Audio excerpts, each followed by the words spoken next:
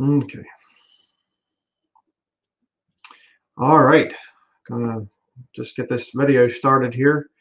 Um, gonna be going over a couple different things and uh, gonna give some time here for people to come in. This is not an announced video. Um, so gonna get a couple things ready here to go.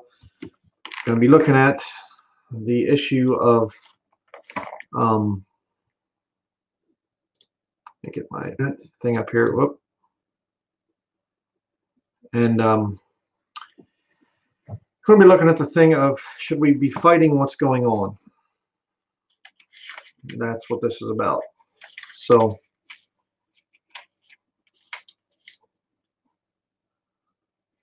hi everybody over there. Nice to see people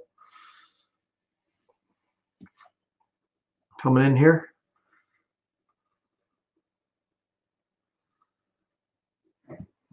Um, Actually did a sermon on this and it just didn't turn out really all that good. I recorded it and um, went over the different scriptures and, and it was just kind of, eh, you know, didn't go so good. Um, so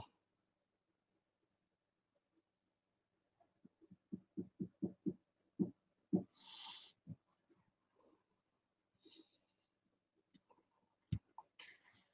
case anybody's wondering, I'll just say a little thing I'm working on right now. Um, I'm not wearing my glasses because they're they're really starting to kind of bother my eyes. Back when I was in intermediate school, um, I actually was wearing glasses uh, right about the time I got out of elementary school, about sixth grade, I think.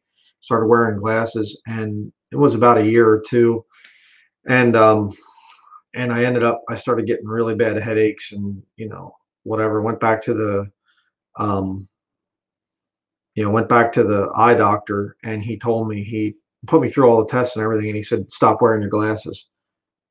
What do you mean? And he said, well, your eyes have corrected. They they've gotten better actually.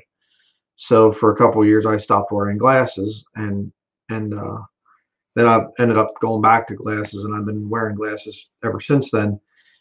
And um, just been I did some research into the thing of uh, natural health cures for your eyesight and um, there's actually a book by uh, Dr. John DeWitt, and um, and uh, he's out in California. Works with Dr. John Bergman. Um, they're natural type of doctors, and uh, he wrote a whole book on on a uh, technique that you can actually improve your eyesight through nutrition, nutritional health, as well as different exercises for the eyes and things.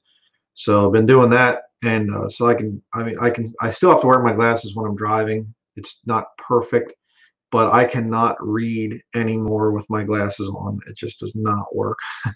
so if you if, if you've seen in any of my videos, I, when I pick up the Bible, hi hi to everybody. When I pick up the Bible, I'll go like this and I'll read because I, I'm trying to actually get away from my glasses because I, I just it just blurs my vision now when I'm wearing my glasses.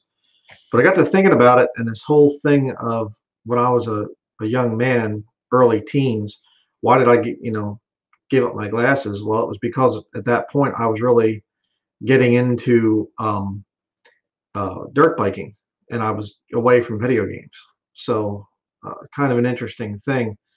Um, and now that we're living off grid and I don't have as much time at the computer, I can really feel my eyesight starting to kind of, I'm starting to get a lot of pain in my eyes when I wear my glasses and stuff. So that's why I'm not doing, I'm not wearing my glasses. So I'll uh, let people know about it if it really does work and whatever else when my eyesight is back completely. Uh, it's it's pretty good. It's I can I can I could drive without glasses, but I just prefer to keep my glasses on. So, but uh, if you want to get your King James Bible out, we're going to do a little bit of a Bible study here. Um, so, um,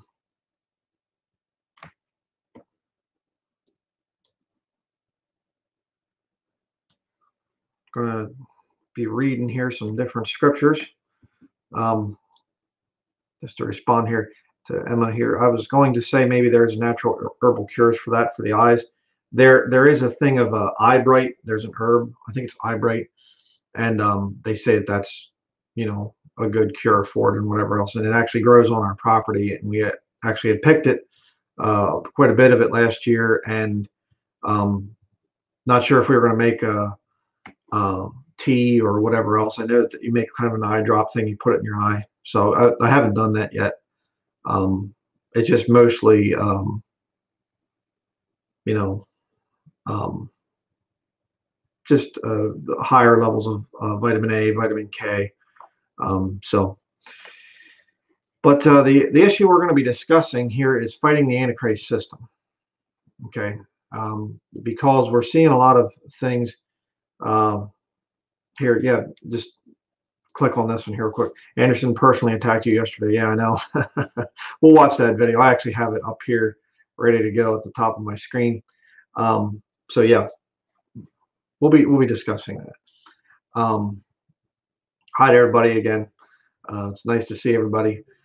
Um, but th this whole thing of this coronavirus and there, I mean, you can obviously, if you if you're a Christian, you know this thing has to be spiritual.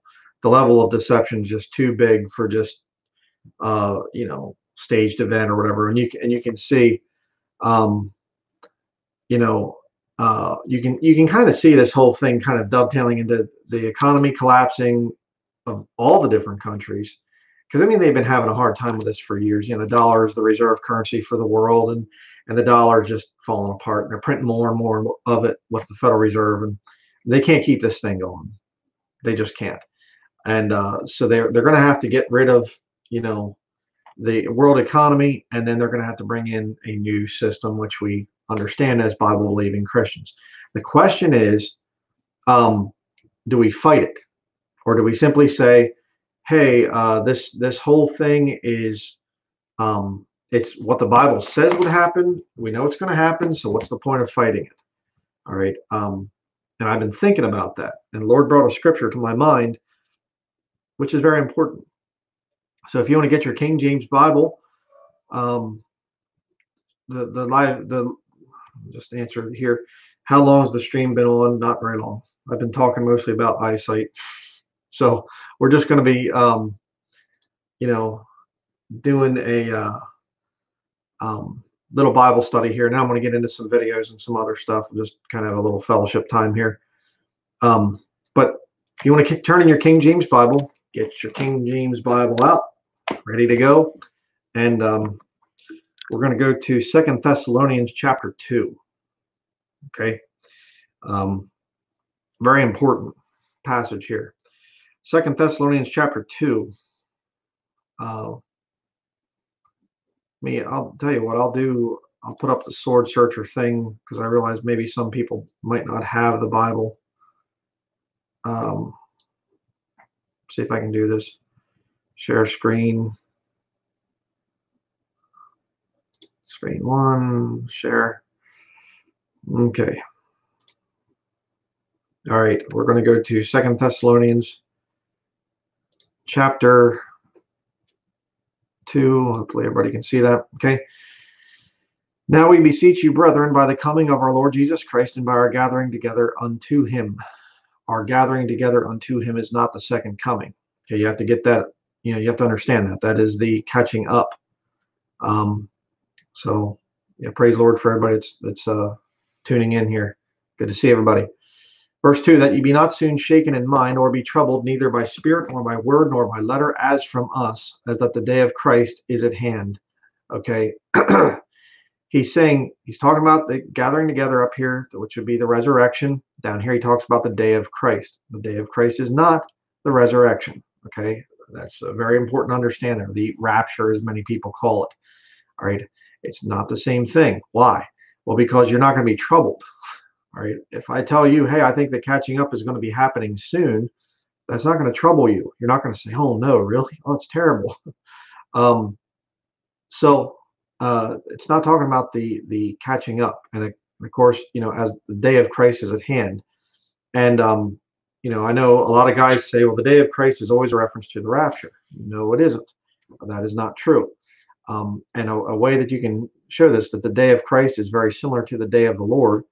Um, actually heard um, Andrew Sluter say the one time, and he was actually right in this, I think, that the day of the Lord is what the lost people will experience, and the day of Christ is what saved people will experience, but it's the same thing. Um, it's it's the second coming of Christ that starts the thousand year reign. Okay, that's what the day of, of the Lord is and the day of Christ. It's the same thing. One day is with the Lord is a thousand years. So it's the second coming that starts the millennial kingdom. Okay, that's what it's talking about there. And that's why they're shaken in mind and troubled because they're they're thinking, do we miss the rapture? Do we miss the resurrection? And Paul's saying, no. Talking about the resurrection up here is that the day of Christ is at hand. People are getting them, making them think that the second coming is is happening, that they're going to be going into the time of Jacob's trouble. Um, let no man deceive you by any means. So the people that are saying this stuff up here to them, that the day of Christ is at hand, they're deceiving them. For that day shall not come except there come a falling away first, and that man of sin be revealed, the son of perdition, who opposeth and exalteth himself above all that is called God or that is worshipped, so that he as God sitteth in the temple of God, showing himself that he is God. All right. Um, right there, this is obviously, you know, there are Reformed theologians that will say that the Antichrist is merely the system. It's not um, you know, a man, an actual physical man. Well, yes, he, yes, he is. He, as God sitteth in the temple of God, showing himself that he is God. It is talking about a physical man. Okay, that's very important to understand that. Okay, um, but you see the thing here of two things have to happen before the day of Christ. Uh, there's come a falling away first, and you know, a lot of people say that that's an apostasy there. Um, you know, it's it's people falling away from the, the truth. And you see that throughout the Pauline epistles. The time will come when they will not endure sound doctrine.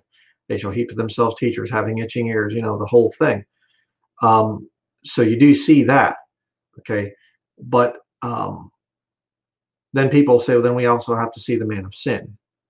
All right. I'm getting, I'm looking over here at the comments on the side. I'm getting a little bit distracted. Sorry about that. But they'll say, see, the, the falling away first, the apostasy happens, and we also see the man of sin, the son of perdition. That is not true. Why? You have to keep reading. All right. Remember ye not that when I was yet with you, I told you these things. I'll get back to this thing up here just a minute. But if you go back to First Thessalonians chapter 5, somebody says it's the rapture. No, it isn't, because right here, um, the day of the Lord is mentioned. Okay, you see it right there. The day of the Lord is what Paul's referring to.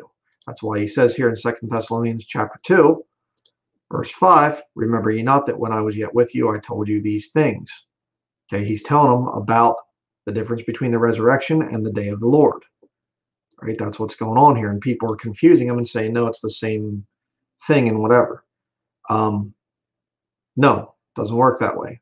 But here's the important part. Here's the the key to this whole thing, this question of should we fight the Antichrist system? All right. Um, verse 6 And now ye know what withholdeth that he might be revealed in his time. All right. What's going on here? He is in context the Antichrist here, the son of perdition. All right.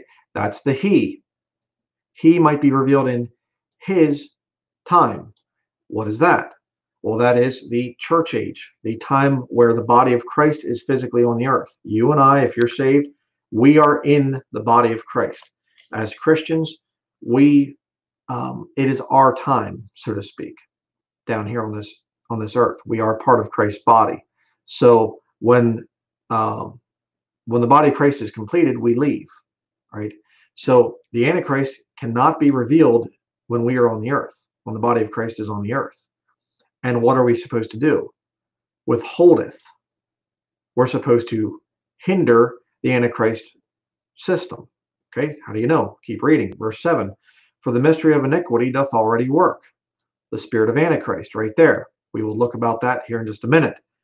Only he who now letteth will let until he be taken out of the way, and then shall that wicked be revealed. Okay, what's going on here? He who now letteth will let until he be taken out of the way. Well, who is that? Well, that's the body of Christ. I mean, you could say it's the Holy Spirit is hindering here. Let in your King James Bible is another word for hinder or slow down or stop kind of a thing. The Holy Spirit is hindering the Antichrist from showing up. He's hindering that system until he be taken out of the way. People say, oh, the Holy Spirit. No, it's the body of Christ. Again, remember, his time. So I would say, he who now letteth is the Holy Spirit within us, within the body of Christ, until he be taken out of the way, there until the body of Christ is gone. How do you know that? Okay, again, you say, well, how, do, how can you be sure? This is a weird interpretation. Well, very simple. Revelation chapter 5. Okay, and you get down here, um, 24 elders, 4 and 20 elders, it's, it says it right there. Okay, they sung a new song saying, Thou art worthy to take the book and to open the seals thereof, for thou wast slain and hast redeemed us to God by thy blood out of every kindred and tongue and people and nation. That's obviously Christians. It's not just Jews, right? They'll say, well, the 12, 12 apostles and the 12 patriarchs? No, it isn't. Out of every kindred, tongue, and people nation. You study Deuteronomy chapter 32, verses 18 through 19. God has separated the, the bounds of different nations. There's 12 nations according to God, separated them according to the number of the children of Israel. Okay, very important to get that. And has made us unto, unto God, our God, kings and priests, and we shall reign on the earth. Millennial reign, thousand year kingdom reign, is promised to Christians. And after that, I beheld, and I heard the voice of many angels round about the throne. And the number is given right there. There. Okay. In the resurrection, they neither marry nor are given in marriage, but are as the angels of God in heaven. Um, right there it is. And then you have chapter 6, right here, the white horse rider is unleashed by Jesus Christ. Okay. Um, Jesus Christ unleashes him. So, is there any proof that the Christians are in heaven before the Antichrist is revealed? Yes, absolutely. I just showed it to you. I mean, it's just simple. You know, it's not really that difficult. But here's my point. Okay. Here's the very important point that you need to take away from this whole thing.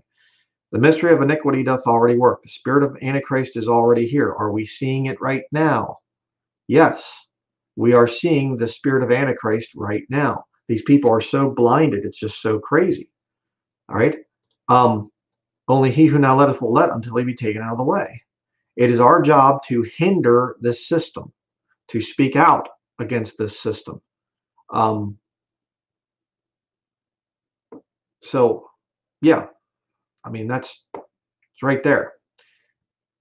But now let's look at a couple things here. You say, what what is this? Uh, what's this thing about the spirit of Antichrist? Okay. Well, let's check that out. Let's go down here to First John chapter uh, three, I think, is the one.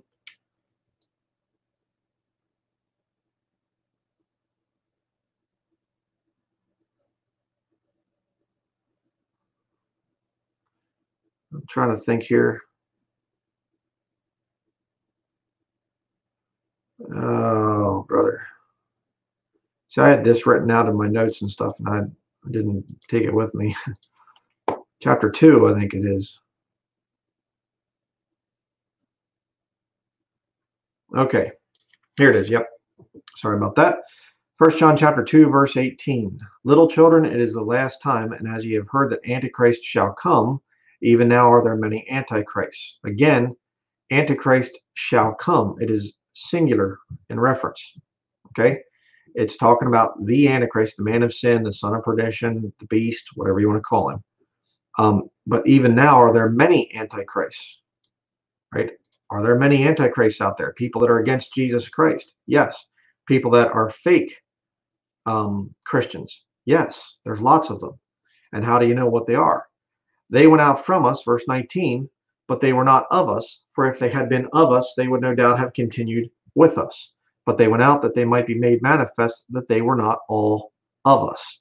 Okay, this is so key. This verse right here, verse 19. They went out from us. How many times have we seen fake, you know, Christian people and they go out from us? They're not of us. Okay, um, very, very simple right? But then we see a test for Antichrist right here in verse 22. Who is a liar but he that denieth that Jesus is the Christ? He is Antichrist that denieth the Father and the Son. And of course, the anti-Jew people will say, "Well, see, the Jews, the Jews do this. This is what the Jews do." you know, the, the Jews, they deny that Jesus is the Christ. Yes, they do. That's why it's the time of Jacob's trouble that's coming up. Okay, Lord's going to have, he has a controversy with the Jewish people in Israel right now, and uh, it's going to be pretty rough for him. But uh, look at verse 23. Whosoever denieth the Son, the same hath not the Father. But he that acknowledgeth the Son hath the Father also. Why? Because they're the same being. Okay? Uh, understand that one. Um, but uh, we'll go down to chapter 4 because here's the next test for the spirit of Antichrist. I think we're all aware of what's been going on with this. Um, Beloved, believe not every spirit, but try the spirits whether they are of God, because many false prophets are going out into the world. Hereby know ye the Spirit of God. Every spirit that confesseth that Jesus Christ is come in the flesh is of God, and every spirit that confesseth not that Jesus Christ is come in the flesh is not of God. And this is that spirit of Antichrist, wherever ye have heard that it should come, and even now already is it in the world. Again, the spirit of Antichrist there. Right. If you go back to Second Thessalonians chapter 2, there, um, the mystery of iniquity doth already work. Right there. It's the spirit of Antichrist. It's already happening. It's all, we can already see it just as plain as day. Right? First John chapter 4. Um, you know, again, here, uh, this is that spirit of Antichrist. Okay, so you see the thing that you know, the way that you can tell who is a spirit of Antichrist, who has that, is if they try to say that Jesus has come or whatever else, they mess with this whole thing right here. Is come in the flesh. Okay, now let me just say it again for the people out there that don't understand the significance of this whole thing. Why does the King James Bible say is come in the flesh?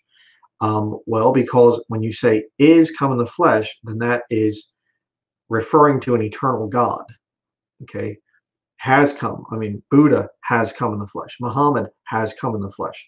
The Pope has, you know, Pope John Paul II has come in the flesh. They're not eternal. When you say Jesus Christ is come in the flesh, that means he's alive right now. He is come in the flesh in the past. He is come in the flesh in the Bible, and he is come in the flesh right now, and he will be coming in the flesh in the future. He is in the flesh in the future. All right. Um, very, very important. And I mean, and it's what the King James Bible says. But right away, you get this, you, you bring this thing out, and right away, people come along and they start saying, you know, well, well wait a second. And they look through the Bible trying to find something to, de- to debunk this. Just the plain English here. What, what word says God was manifest in the flesh? Well, it's, it's talking about a past tense event in First Timothy chapter 3, verse 16. Certainly the context there is it's God was manifest in the flesh. It's talking about something that happened in the past. This is not.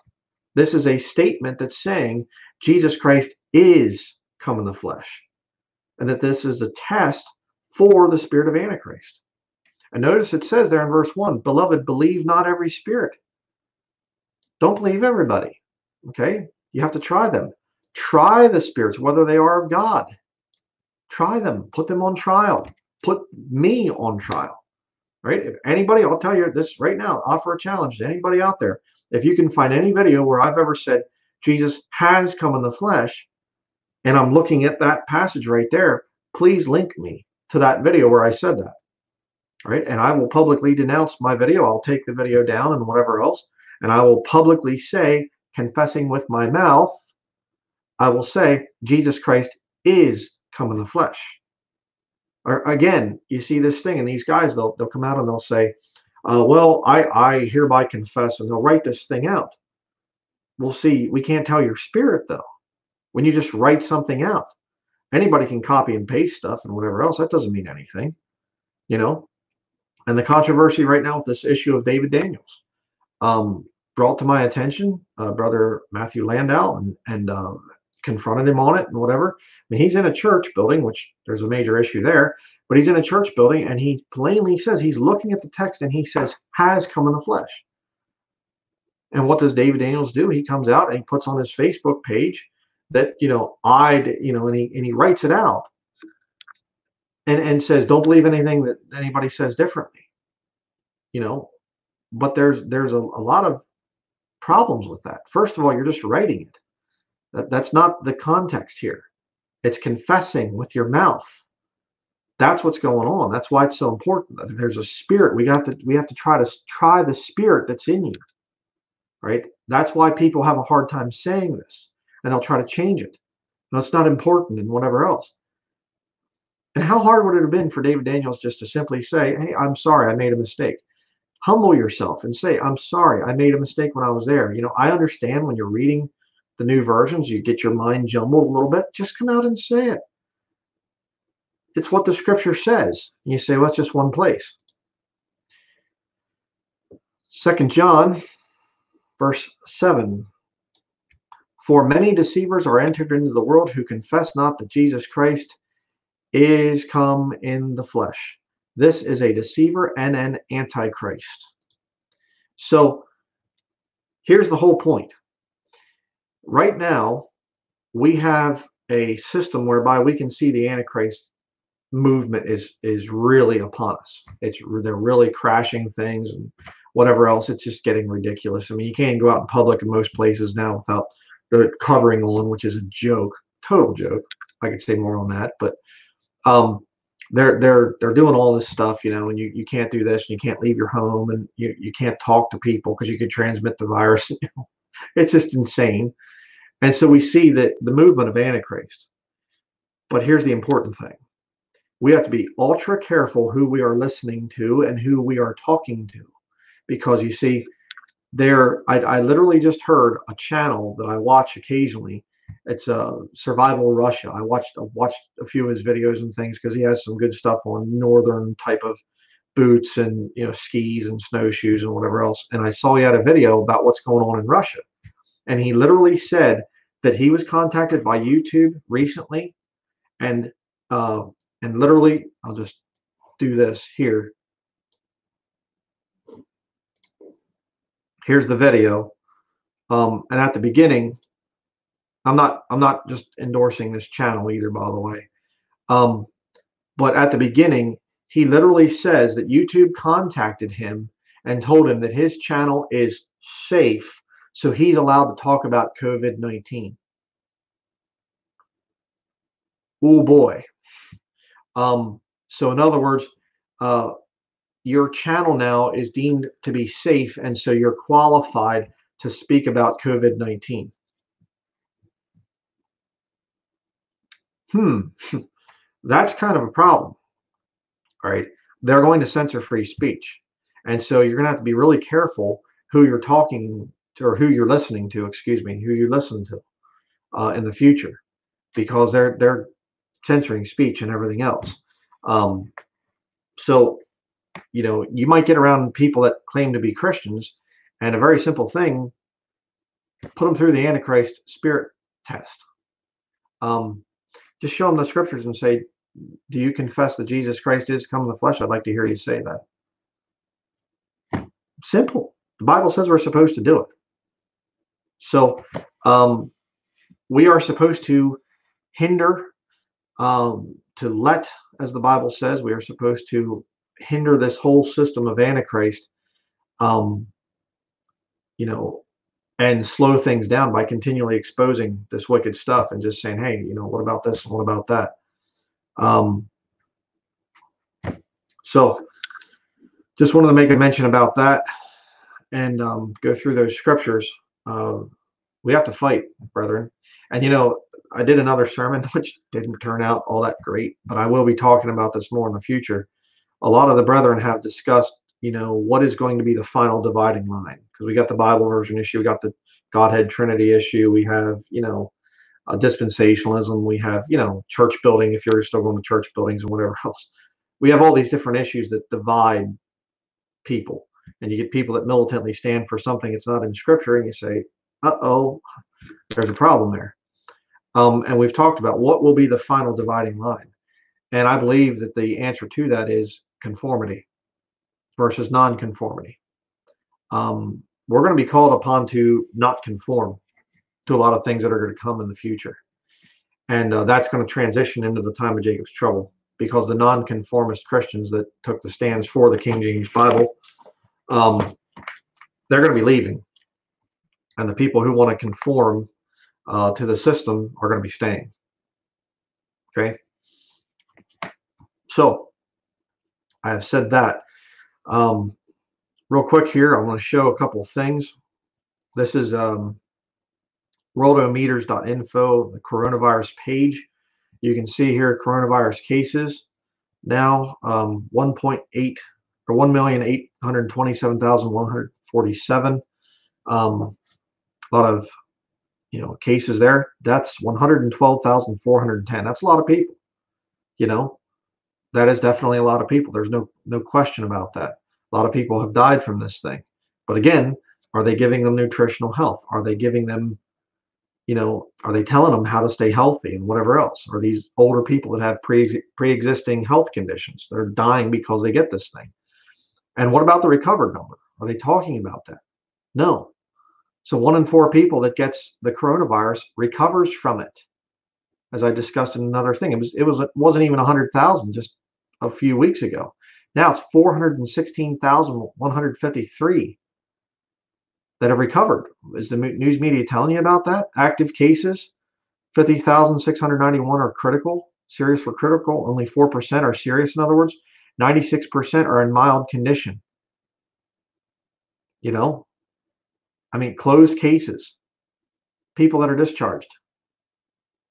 You know, and it's going up here right as, as springtime's coming and, and things. Of course. Yeah. Springtime, the flu always goes up. So, yeah. But uh, here's a video I want to play real quick with uh, Steven Andersnake. Oh, by the way, some of the people who criticize me for for uh, shutting things down, you know, they don't have to worry about it because they don't even have a problem more than ten. You know, I saw Bryan Denlinger was uh, criticizing me today. Yeah, he's already been in. He lives in compliance. He's now, he's in compliance 24 7, 365 because it's him preaching to a camera. There's nobody, he's he's been on live stream only since before this disease had ever been thought of. yeah. uh, well, you know, I don't, I checked, I don't have any videos of it, but right here I am in this video warning about Mike Hoggard on eternal security. Um, this was when I lived down in, in Pennsylvania, Eldred, PA, and we were going to Country Chapel Baptist Church. I'd actually just gotten back from attending the church there where I was preaching in the pulpit and actually had control of the church different times when the pastor was away. So I was assistant, I was basically an assistant pastor at that point in time, preaching in a Baptist church. And there were, I do have videos, they're on my external hard drive now. I, I deleted them, but um, you know, there were videos of me preaching in a church building uh, seven years ago. So for Anderson to say basically uh, that, you know, I've been preaching to a camera for 10 years or whatever else, uh, well, no, seven years ago, I was in a Baptist church as well as a Baptist preacher. Um, so, yeah, that doesn't work too good. But um, I do videos preaching and teaching in the medium of video. Okay. What we do in terms of meeting with people and and whatever else i don't record that i don't record um i don't record uh going out and witnessing to people okay if i'm out and i, I get into a conversation with somebody i don't get the camera out right away and and try to record the thing or something else so again these these guys have rocks for brains you know um he's talking to a camera yeah yeah that's i'm teaching the bible and putting it online for people that's not what I do for my own personal life, you know. Uh, you know, and I, I love the thing that I say I, I do video ministry. They say there's no scripture for that. Okay, and where's the scripture at for uh, church buildings and going to church? You know, yeah. Um, but this is an interesting thing here. Here's my live stream I did that got Anderson all triggered. And uh, down here, I thought this was quite interesting. I pinned this comment. Um, USA Pilot 78. Um, it says, You want to know why these 501c3 pastors are selling out? Money. Trump's Paycheck Protection Program covers them and they get paid if they are good. We always knew that they would sell out. We always knew they would sell out. They did. Donald J. Trump at Real Donald Trump, 2:19 p.m., April 4th, 2020. Quote, the Paycheck Protection Program is up and running. The program is open to nonprofits as well. So banks be sure to sign up our great religious and veteran organizations that need help. All right. And I checked it out. It is it is the real deal. Right there it is. I did a little search. Right there it is. So he's you know this commenter is right. The new Paycheck Protection Program uh, permits loans directly to any nonprofit organization defined to include tax exempt organizations described in Internal Revenue Code Section 501c3, including religious institutions. Thus, religious institutions are eligible for loans during the covered period of February 15, 2020 through June 30, 2020, as long as the organization does not have more than 500 employees and was operational as of March 1, 2020. The CARES Act makes religious institutions subject to the SBA's affiliation rules in determining size, meaning that the organization must take into account the number of its own employees, as well as any related organizations, whether nonprofit or for profit. These affiliation rules are, and regulations are far reaching and complex, and careful analysis of them is required. careful analysis, yeah. Uh, in other words, government oversight. Religious institutions can use the loan proceeds for certain payroll costs rent, utilities, mortgage interest, and interest on other debt obligations incurred before February 15, 2020. In addition, these organiz organizations are eligible to have such loans forgiven, effectively turning the loans into grants if additional requirements are met. And um, another interesting thing here, he says he keeps his church employees mask makers on the payroll and he can get those government lo loans forgiven loan forgiveness under the Paycheck Protection Program. 501c3 and 501c19 nonprofit organizations are eligible for forgiveness up to the full physical principal amount of the loan and any accrued interest if the borrower uses the loan for qualifying purposes and employee and compensation levels are maintained. So there you go. Excellent information. Thank you for sharing that. And it was very good information. So, yeah, there you go. but uh, just crazy, absolutely crazy what Anderson is doing. And you know, it's it's funny because, um, you know, you have this Steven Anderson here, you know, and he's in this little church building down there. He's 501c3, and he lives in, you know, the city basically, Phoenix, Arizona, or Tempe, or wherever he lives. I don't really care. And uh, and he's just going along with what the government says. Meanwhile, I'm I'm you know up in the middle of nowhere, and we can make our own food and grow our own food and whatever. You know, somewhat not fully into farming and whatever else yet, but you know, and yet he's a post tribber and I am a pre tribber. You know, figure that one out. You know, I mean, if I really believed I was going into the time of Jacob's trouble, I would just be, I wouldn't even be online. I'd be a fanatic. I'd be just building underground bunkers and the whole thing, you know. But this guy claims that he's a post tribber and he's going to reject the mark and whatever else, and yet he's just right along with what the government tells him to do. You know, and again, if I was if I was a if I had a church building someplace, I wouldn't shut it for anything. You know, I mean, if there's a lot of snow or something, obviously, well, people couldn't get to it or whatever, but you know, good night. Government comes along, you need to shut down your church. No, no, um, the government has no right to tell me what to do with worshiping the Lord, but apparently they do with Anderson. So, but just wanted to do um, a real quick little um, live stream. Um, I don't know. Does anybody want to join the live stream thing? I can post the link down there, and anybody wants to join. Um, would anybody be interested in just having a discussion about anything? I will. I'll put the uh, link to the live stream thing in the chat area. There you go. If anybody wants to join, you can feel free to. Totally open to joining the live stream.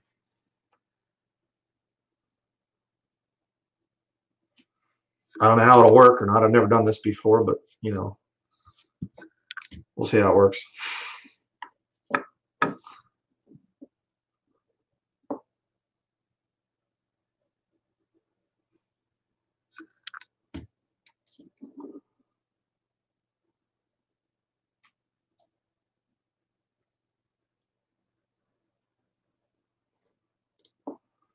Brother Bryan, do you think this is part of the end times? Absolutely. Yeah. It's setting up the whole thing. Uh, the economy is what's really they're they're really going after the economy. The coronavirus thing is um, it's just part of it. It's just covering up the fact that the economy is collapsing. So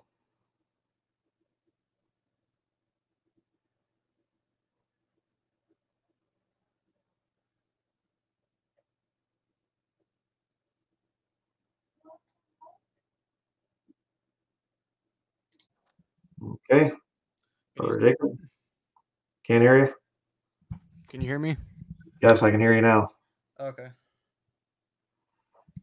Um, okay.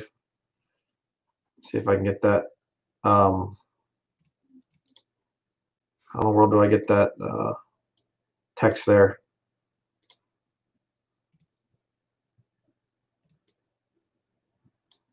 Trying to. Uh, I don't know how to get the text out of that thing. See if we can watch that video real quick.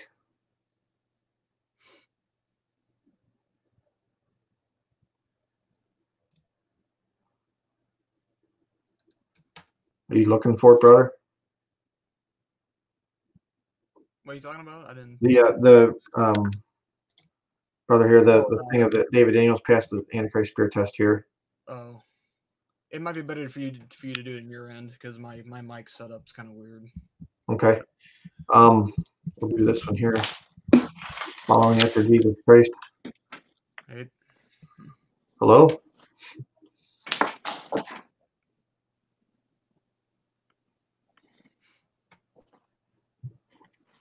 Okay, I'm not sure how to get that one thing here. Um, Hey, what's going on, brothers? Matt, how you doing?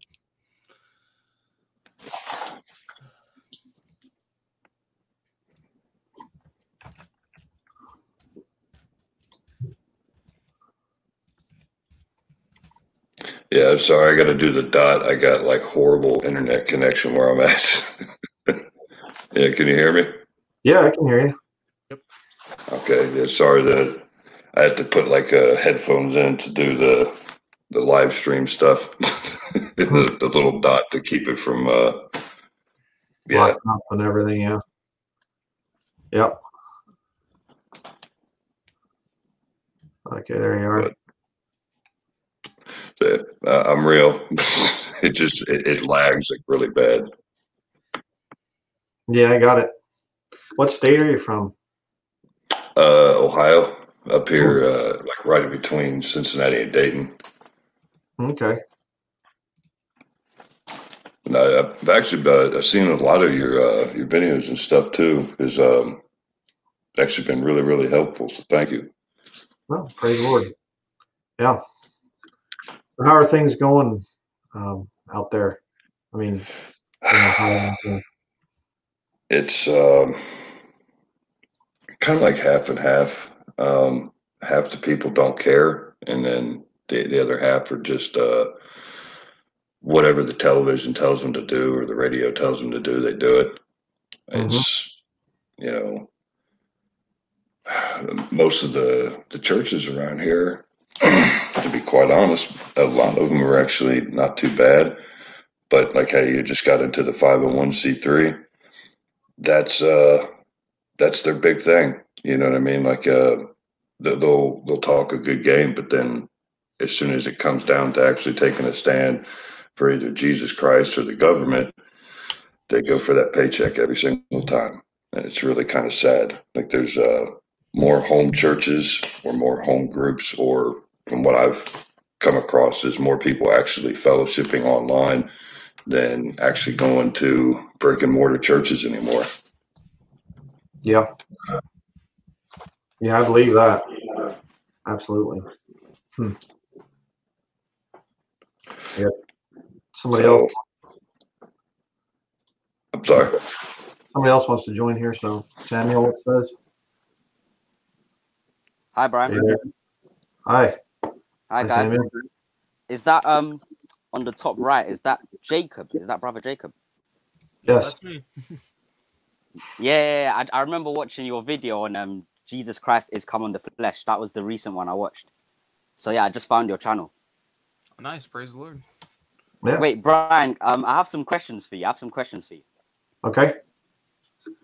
Um, the first one is yeah, like how did you get into that um off-grid lifestyle with like building a home and like you know living fully off-grid and stuff like that? Because you know I'm 17 now and I'm happy that the Lord has shown me that before you know I'm at a stage where I'm ready to like move into my own place and stuff. So like, what sort of advice could you give like for that sort of lifestyle? Because it's not easy. I live in the city, obviously, so how do I get out of that? You know, you know what I mean.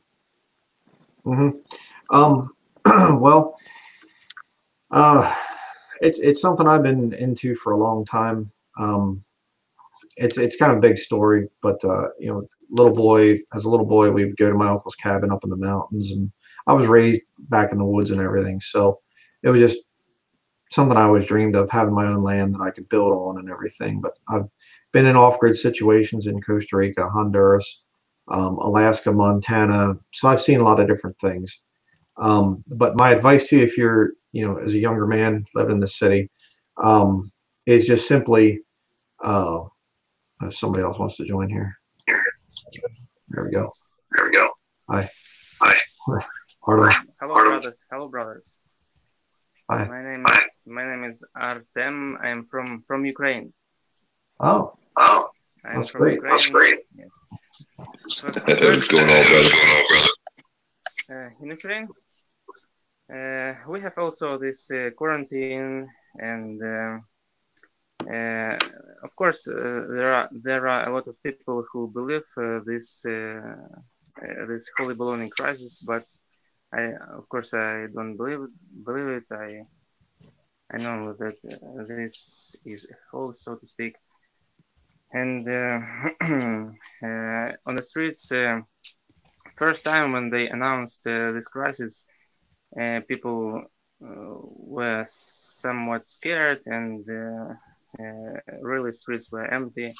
But now uh, today is uh, Sunday, and uh, actually, I live in uh, in the in, in, a town uh, on the river, and uh, a lot of people are walking uh, on the bank, on the beach. Uh, not a lot, but quite uh, with with their children. Uh, people are fishing, so there are some who do not comply to this to this whole thing. That's good. That's good. and uh, actually brian brian uh, first i uh, uh, in youtube i found i uh, first time i looked uh, at your video when you announced um, uh, the name change of your channel and uh, uh, i don't remember how this video how you named this video but you uh, spoke about uh, your channel, how it will work uh, after Husky 983, yes, it and uh, you renamed it into uh, KJV Video Ministries, yes. And I really like what you said, and since then it was uh, a little more than one one year before I started listening to you, and uh, uh, often often I listen to you. Well, that's great. That's great. Yeah, oh, kind of weird, weird, weird, uh, Regarding- weird, uh, regarding churches, uh, I started. Uh, I started uh, um, with charismatic charismatic movement in charismatic movement uh, when I entered the university. So when my my classmate uh, uh, was a former drug addict uh, who was freed from this his addiction through through this church where I spent some three years in this community. And uh, in Kiev, it, it was in Kiev, in the capital of Ukraine, Kiev, you know, maybe. mhm. And uh, we have a lot of conferences, uh, and a lot of false teachers came there, uh, including Benny Hinn, you know, Benny Hinn, Benny. and uh, of course, uh, it was uh, it was some uh, Todd Bentley, you know, Todd Bentley, some degenerate preacher uh, with a lot of tattoos, and with his team was one one Ukrainian girl who immigrated to United States, and um, I I've got during this confer- con- conference that lasted some about one week. Uh, I uh, got got acquainted with her and uh, told told her that I was interested in uh, reading the Bible in English language, and she promised to uh, send me one of, as she told me, the best translation, the message. so next next uh, ten years, I really uh, spend uh, spend reading the message, and when I start reading, of course, I uh, started to see all this movement from another point of view, and uh, a lot of things became suspicious to me. And eventually, I uh, I quit this congregation after, especially after uh, portion in, in, Corinth- in Corinthians where Paul says um, about the cup of the Lord and the cup of the devils. Uh, remember this portion? Uh, and in this translation, it says, when people uh, reduce God to something they can use or control, uh, uh, escape the company as fast as you can. So I ex- escaped the company. but of course, in uh, the next 10 years, I spent re- reading the, this message, uh, and it was a good training in English language. Mm, and uh, after some after some crisis and some dramatic events uh, that started in 2015. I uh, ch- changed uh, to King James King James version, uh, and I can't I can't even read in Russian language because I because every time I read it is it is my mother mother tongue, but every time I, I turn to this book, uh, I see a lot of out of these discrepancies, and I can't really take it as uh, the as the, the word of God to myself. So actually, what was the crisis? I uh, during this crisis, I um, find out how how how satanic was this message translation, how satanic was, and uh, I became afraid, and I started again to uh, visit some churches, some Baptist churches, I uh, at that time I already listened to John MacArthur sermons, a lot of them, and uh, with those Baptists I uh, discussed a lot of this topic uh, of John MacArthur sermons, and uh, I listened it in English language, course, and uh, they also and they also dreamed about listening John John MacArthur. It was like his, like their favorite favorite preacher, so to say. And uh, um, actually, the question the question for me was now. Please listen to me. Very important. I want to say the question for me was, uh, can God forgive me because uh, okay, I was re- reading this satanic Bible version and I realized uh, like I, I was convicted really i realized uh, the pressure of my sins my former sins and sins and uh, i i was uh, looking for a way for forgiveness of sins and and uh, I, I, once i spoke with some uh, servants in this baptist church and told them okay Mm, especially after listening to MacArthur, Mark Arthur's sermon about uh, the tale of two sorrows, this this name, about uh, Peter and Judas. He like kind of uh, uh compared uh, to to lives, to betrayals, so to say. And I I was hunting for um, reconciliation with the Lord because I felt that I betrayed Him, and uh, those people told me, okay, I told them, okay, uh, is it possible that God will never forgive me? And uh, some of them told me, yes, it is possible. and I I I, I ask him, okay, if uh, God will not forgive me, then I go to hell. So how can I live? How how how how can I live further? And he told me, relax, live live like you live, you know. So uh, it was it was really hard depression during one year, and after this year, I decided to uh, leave my town, and I ended up in uh, uh, Orthodox monastery in uh, in west of Ukraine. So I spent uh, one year and four months in this Orthodox monastery. I was totally confused. I, I was totally confused. I didn't know where, where up and down, you know. and uh, eventually, I asked my mother to bring uh, to send me my MP3 player, and I started listening again to Orthodox authors, then uh, resumed to John MacArthur.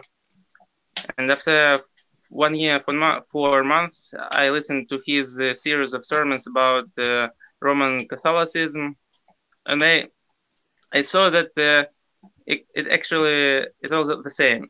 Uh, Rus- Russian Orthodoxy, Roman Catholicism, uh, all basic uh, doctrines are the same. And what uh, became the turning point in this uh, my journey, uh, uh, in this my search of forgiveness, uh, after all those after all those ceremonies, after all those confessions, I remembered what I listened long before in some audio Bible that I downloaded from internet Mm-hmm. I remember the uh, f- first uh, chapter of Revelation where uh, he tells us uh, he where it is written that uh, glory, glory and strength to Christ who loved us, who blood washed our sins from our eyes. Yes, uh, remember this, and I understand that.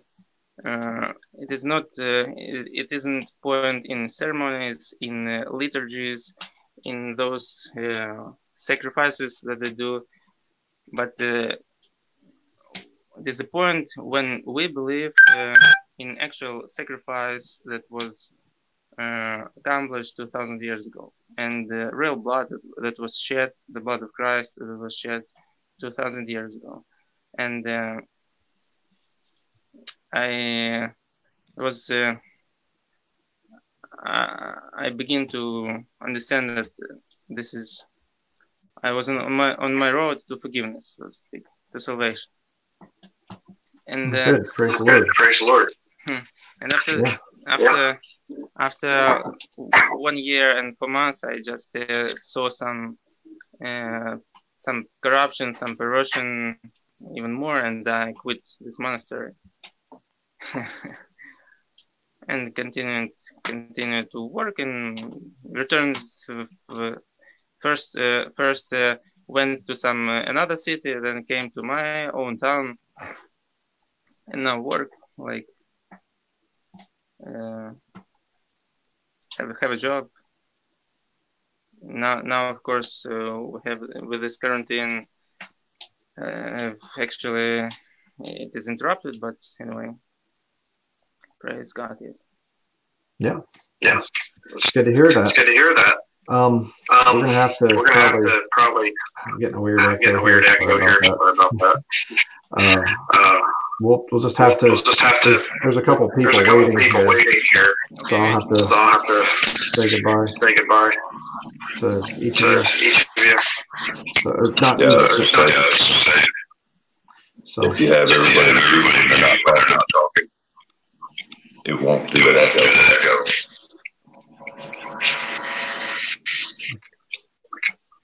all right. So All right, so goodbye, Artem. goodbye, Artem. Thank you very much. Thank you very much for your for what she said there, testimony. Okay, I'm sorry. Uh, following after Jesus Christ. What what was it that you said? The the echo. Yeah. If uh, like when someone's talking, like how we got headsets on, it uh, it won't echo.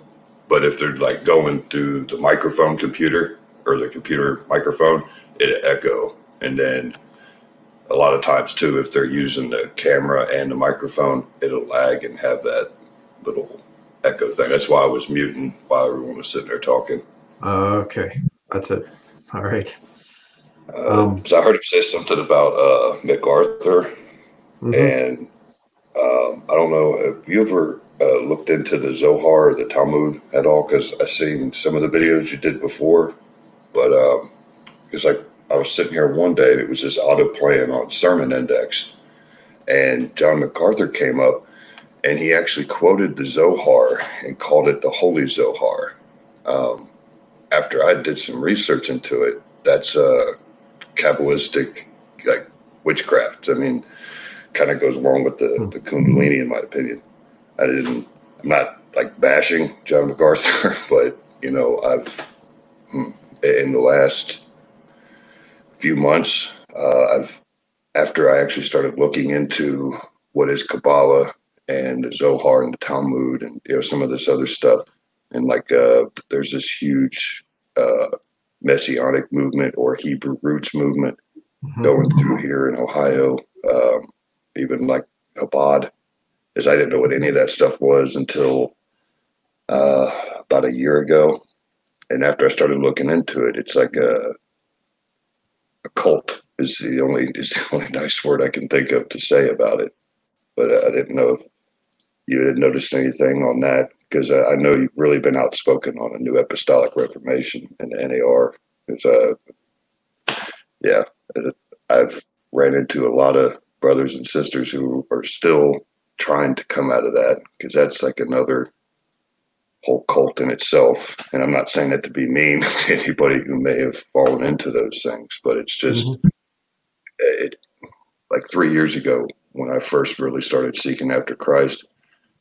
The two things that I came over, the two big problems I came across was I didn't you know I didn't even know what a denomination was, and started going church to church, and then found out that it was in some churches they didn't actually encourage you to have a personal relationship with Christ. It was uh, come here, I speak, you listen, I say, you do. You know what I mean? And you know, Mhm. don't ask questions.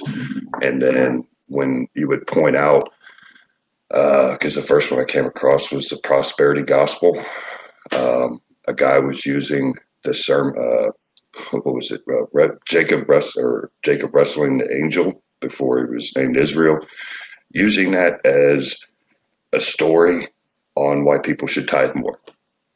And I was like, I was like, dude, I literally just read that two nights ago, and that has nothing to do with money. Nothing. you know what I mean? Yeah. And it's just Doesn't. the amount of false teaching and gospel is uh, almost an endless flood. It seems. hmm Yeah. No, I, I haven't really looked into the Zohar a whole lot, um, or the Talmud or whatever else. I just kind of avoid that stuff because I just I, I know it's satanic type of thing. Yeah. Um, it's it's part of the reason why God's you know wrath is going to be hitting the you know the Jews in the time of Jacob's trouble. They've rejected the New Testament. They've rejected Jesus Christ, and they've gotten all this extra biblical stuff in there. So sad, but the Zohar is basically a, a commentary, and from the me looking into it myself, um, you, you remember in Exodus when they were going through, and Moses had put the uh, bronze serpent up on the stick.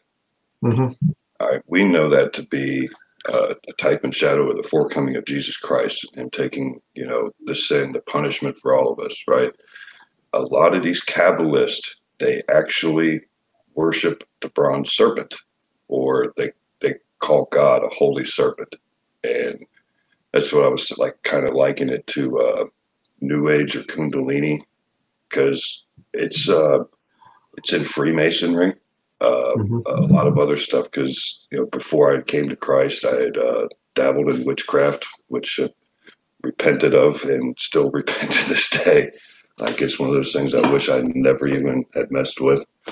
But a lot of the all that stuff all kind of goes together. And like you just said, I, I do believe that that's what we're going into is the time of Jacob's trouble. And uh, I do. I, hope they repent. You know, it says a remnant will. So, Mhm. you know, come what may. Yeah. Well, I got a bunch of other people lined up here, so I'm gonna have to. I wish I could just have everybody just talking No. things, but this.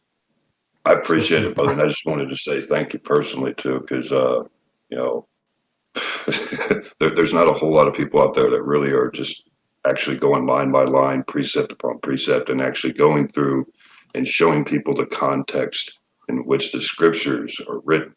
You know what I mean? And I've never seen you take one and say, ah, this thus saith the Lord, this is what it says. You know what I mean? Like you actually go through and you say, look, this is what it says here read here before, read here after. It's cross reference here. You always leave. Uh, well, you, you show your work. So, but Praise the Lord. hey, God bless, brother. And uh, Yeah. I'm going to drop out so someone else can get in here. And uh, much love to everybody. Yep.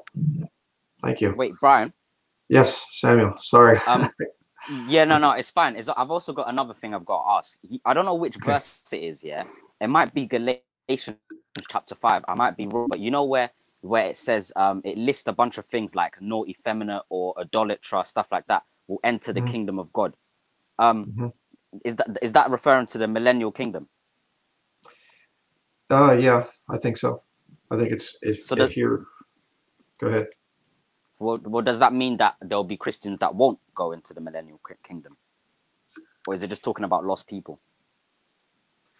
Well, I think that the kingdom of God can be said two different ways. In Romans, um, in the book of Romans, I can't, can't trying to think of the reference right now, but it's it's uh, uh, Romans chapter 14, I think it is. It talks about peace and joy and in the Holy Ghost um, being the kingdom of God. Um, but I, I would say that the kingdom of God in that in that reference is, you know, that, that there are people that are not going to get any kind of millennial rule because you know they they're not going to be able to rule and reign with Jesus Christ because they didn't suffer. I'll say it that way. And also, you see how you say um, in the millennial reign it will be like works-based salvation. So, Mhm. so does that mean lost people can still get saved during that one thousand year period? Yeah, I think so. Hmm. I do. People that are born in that time period, yeah. It's it's So- it's one of those things. It's not. I'm not real. It's it's Yeah. a future dispensation. I can't speak 100% for sure on it. It's stuff that's going to be revealed in the future. And one more thing, and one more thing, yeah.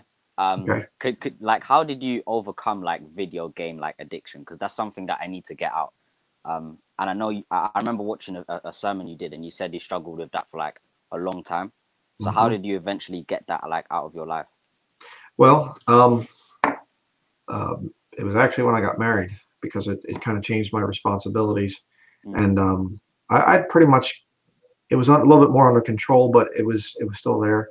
I was still struggling with it. But then, you know, when I got married and I had a wife to take care of and provide for and everything else, uh, that really did change it. Uh, by the way, Jonah, uh, see you there. I'll be getting to you next year. But um, uh, the the off grid lifestyle kind of kind of keys into this whole thing of Mm, um, getting away from video games.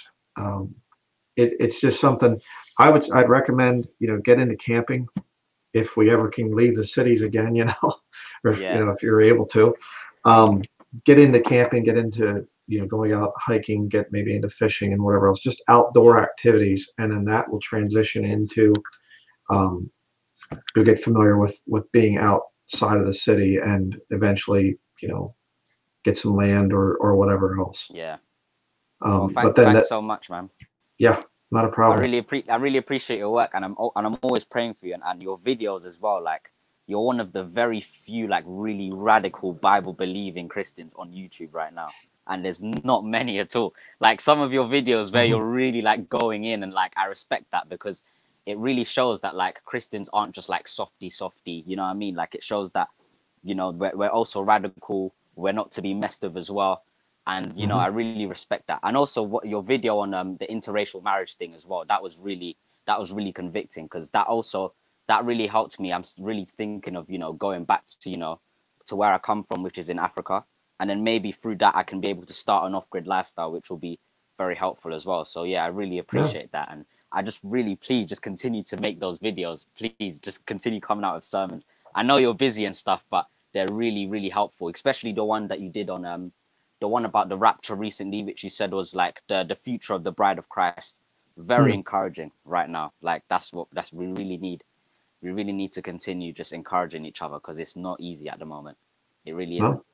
But the good thing about quarantine is that, and like the thing of, because my college got cancelled, which is very good, and that gave me time to actually spend more time with the Lord. So, you know, that that's also uh, something that I took as well. But yeah, Yeah. Yeah. Fa- praise thank the Lord. you, and I just pray for you, your wife, and um, Oliver as well. Oliver's so Oliver's funny. He's he's an absolute. he is a clown. Honestly, he is too funny. Mhm. but Yeah. yeah, I- I'll see you soon. Yeah, nice talking to you. Okay, bye. See ya. Okay. Hi, Jonah.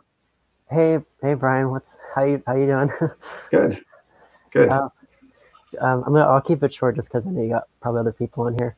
Um, but I've um, just keep it really brief intro. Um, I'm from Washington, Pennsylvania, and um, so far virus stuff here is, isn't like too bad, I guess. I mean, it's just like most people just stay indoors, and if you're if they see other people out, they just kind of go to the other side of the street, in a sense. So it's not like horrible, but I'm still going out and doing anything I need to do. But uh, um, I originally found your channel like back in like 2012, 2013, and uh, been like following along since then. And uh, you're prob- like you're probably the reason where I'm at in my life today. Just just I was like part of like church systems and stuff like that, and I finally got like out of it, and I just been like trying to do a lot of self study and just like that. But um, uh, I still struggle with a lot of things, which uh, which really gets me uh, flustered, I guess you would say. Mhm. But um, uh, and I feel like even though I've like been like watching and like learning and things like that, my knowledge is still very little. Like I can't, I still feel can't like pull things out. What I'm trying to say is anyway, um, there's a, uh, um, I don't know if there's anything like that in Maine going on, but um, in June, our city here is going to be like having its first like Pride March, I guess. And like I really wanted to uh, like I don't know, like go out and like try and like talk to people and like I don't know, like I don't know if like preaching against it would be the right thing. Because just like just because I don't know if I'm like I don't know if I'm like ready to do that yet. And like I got like um I have I, don't- I don't know if I guess friends sort of because I was kind of actually a couple years ago I actually was sort of in that system too in a way. Mhm. Um and I thank goodness for my mother and like watch and you did a thing on that too. Um, got me out of it, and um, I've been trying to get this person that I know who's in it, like to kind of like wake up to like what's going on with that whole situation. Like I gave, um, I gave, 'em- I gave them a Bible that I had, King James, and like I try to bring up like scripture, like anything anytime like we're like like hanging out and stuff like that. But I don't know if I'm getting through or not. But um, is there any like any like thing you can like any um, advice that you can maybe part with like uh I don't know if it's just like like oh like preaching to like a large since that'd be like a large group of people like if that March thing happens I don't know like is there any like thing I can like prep to kind of like for that yeah, I well, I would say uh, give out uh, gospel tracts. You know, find some good gospel tracts. Um, people that are involved in sodomy are sinners. Yeah. Uh, Jesus Christ died for sinners. I just got to get people to realize that. Um, I I do have um, I don't know how you say it, a burden or whatever else, but uh, uh, the sodomite movement is going to be one of the things that the Antichrist system fights against. The radical uh, pre-Vatican II Catholics um, are going to really just slaughter people that are into the LGBTQ, whatever the stuff is right now. Yeah. And um, I think that people need, you know, if you can help them to understand that and just say to your friend or whatever, if he's if he's gay, and, and just say, hey, you know what? Look at some of the stuff that's happening here. Um, you think that that people are for what you're doing and, and whatever the LGBTQ system, they're not. Um, I mean, the, the AIDS epidemic right now, that the media doesn't even cover it anymore, and and they're just there's a lot of them dying, and they and in that whole system. And you know, Steven Anderson, perfect example of that. Um, he hates people that are into sodomy and blasts them on YouTube all the time, banned in 34 countries, and yet they leave him on. See, there's that radical group of people that want to kill people that are into that movement and just maybe help your friend to realize, hey, you're in serious danger here in the future. And right now it looks like the world's for what you're doing, but when the Antichrist system shows up, it is going to be super bad, really, really bad. Um, you need to be saved, you know, is what I would say to them, and just say you, you need you need to take this stuff seriously. Um, you know, it's it's not going to be an accepted thing in the future, and a lot of people in that movement are going to get slaughtered. So, does that answer your question? I I think so. Yeah, because it's um because actually like I'm gonna say I'll say she just because well biologically she is a female, but like is trying to like just put the T in the LGBT essentially, and it's Mhm. just like I don't know, and it's I'm like trying so hard because like I feel bad for her because it's like um like I that's kind of that's how I was like like a couple years ago. I was like doing the opposite, obviously, but it's just like like she doesn't she it's like a temporary thing because it's like I know they're I kind of understand the mindset of it because um Mhm. they think whatever's whatever bothered them in the past like it it's like they see it at least how I said it, which I think most of them do. Um, they see it as like a um like a rebirth in a sense, like kind of like whatever happened to them that's like it doesn't happen because it's not like them anymore and it's just like it's so temporary because like you realize that it's like um oh, what's the word i'm thinking of it's just like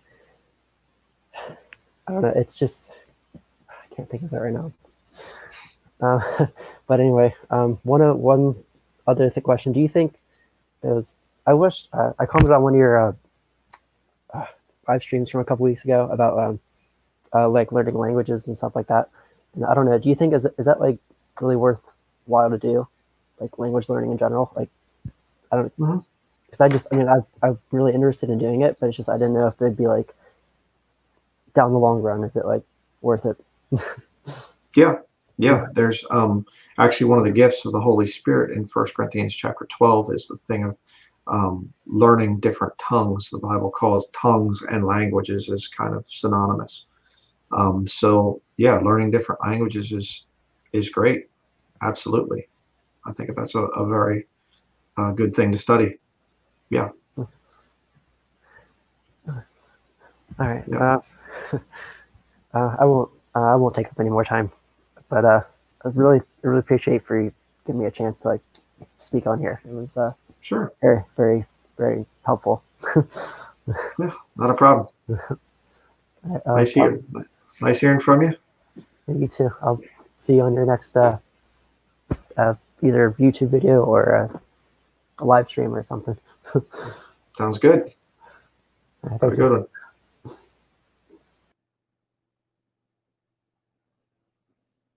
Okay.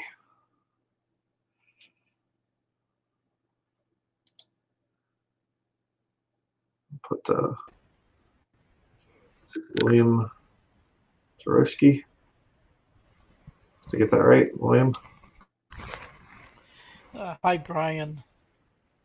Hi. Hi, it's like I'm over here, like uh, southeast Michigan. Okay. Like I do a lot, I enjoy a lot of your videos. There, pretty uh, straight to the point, and there's on scripture. Praise the Lord.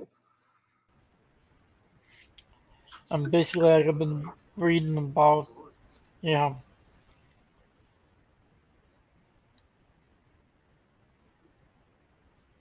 Kind of breaking up there. I can't can't make out what you're saying.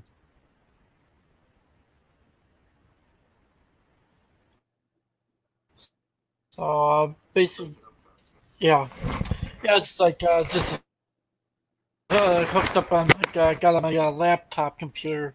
Basically, I've been like uh, seeing a lot of problems with uh, New Apostolic uh, Reformation, and I do consider that's the prosperity gospel on steroids. Mm-hmm. Yeah, yeah, the, the NAR thing is pretty bad, definitely.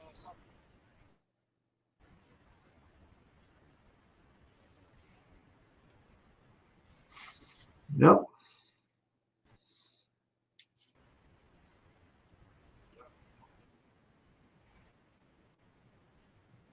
Do you have any questions or anything?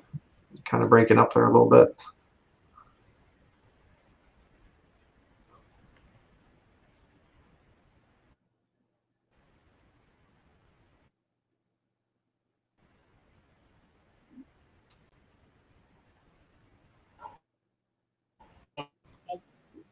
Um, no.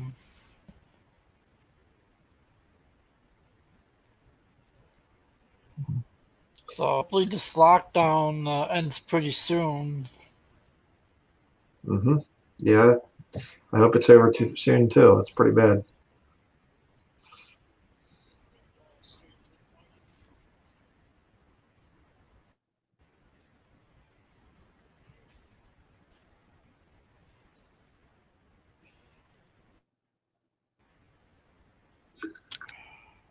So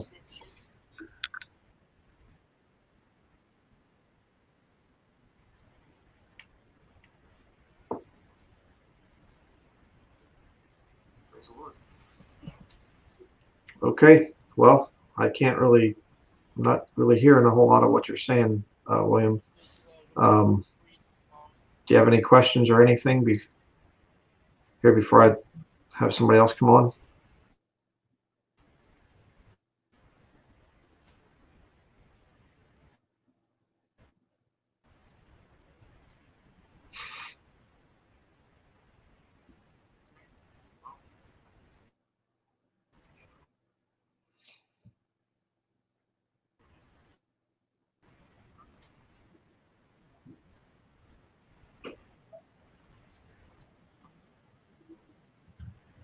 Uh, no.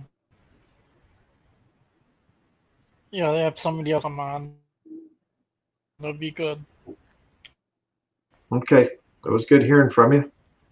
Sorry the connection's not the greatest here, but nice hearing hearing from you.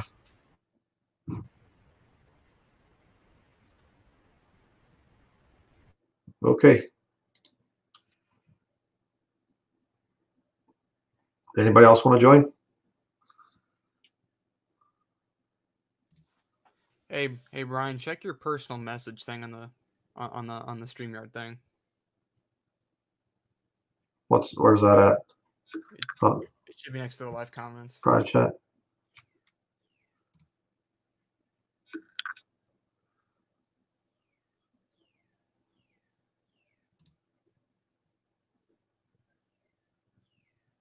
Okay, That's just gotcha.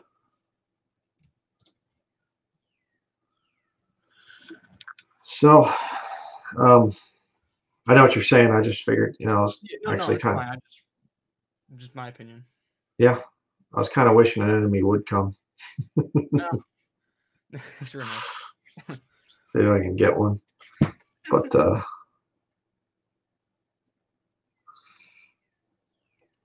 so are they are they requiring um face masks to go into stores out there in your area, brother?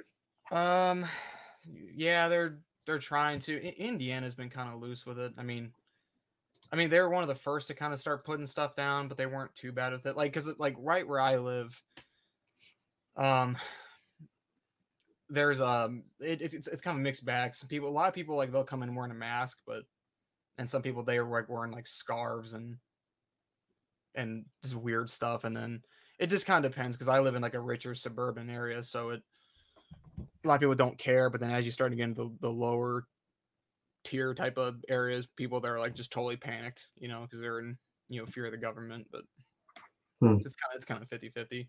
I I know every state around me is really cracking down, but Indiana's been kind of loose with it for the most part. All right, I have a couple more people here want to join, so I know who one of them is here at least, so we'll have Okay. Hi. Hello. Hi. You all right? How are you doing? Pretty good. How are you doing? I am fine. I. Yeah, I'm probably putting on a bit weight not being at work though. hmm Um, I wanted to. I wanted. If if you've if you've got your Bible there, I wanted to go into Daniel eight. Um, because you were on about you were on about the Antichrist earlier on. Um, and when you when you head into when you head into uh, chapter eight, Daniel chapter eight, hmm I'll start reading. If I'll start reading from verse six. And he came to the ram that had two horns, which I had seen standing before the river, and ran unto him in the fury of his power. This is talking about uh, from from the research I've done. This is talking about Alexander the Great. When you when you when you go through it all, and I saw him come close unto the ram, and he was moved with choler against him, and smote the ram, and break his two horns. I think them two horns represent the Persian Empire before Alexander the Great went on a rampage. And there was no power in the ram to stand before him, but he cast him down to the ground and stamped upon him, and there was none that could deliver the ram out of his hand. Therefore the he goat waxed very great, and when he was strong, the great horn was broken, and for it came up four notable ones toward the four winds of heaven. Now, that there's describing um, Alexander the Great's empire being split off into four. I'm not sure if you've uh, if you've looked into this. Mm. Um, anyway, out of one of them came forth a little horn, which waxed.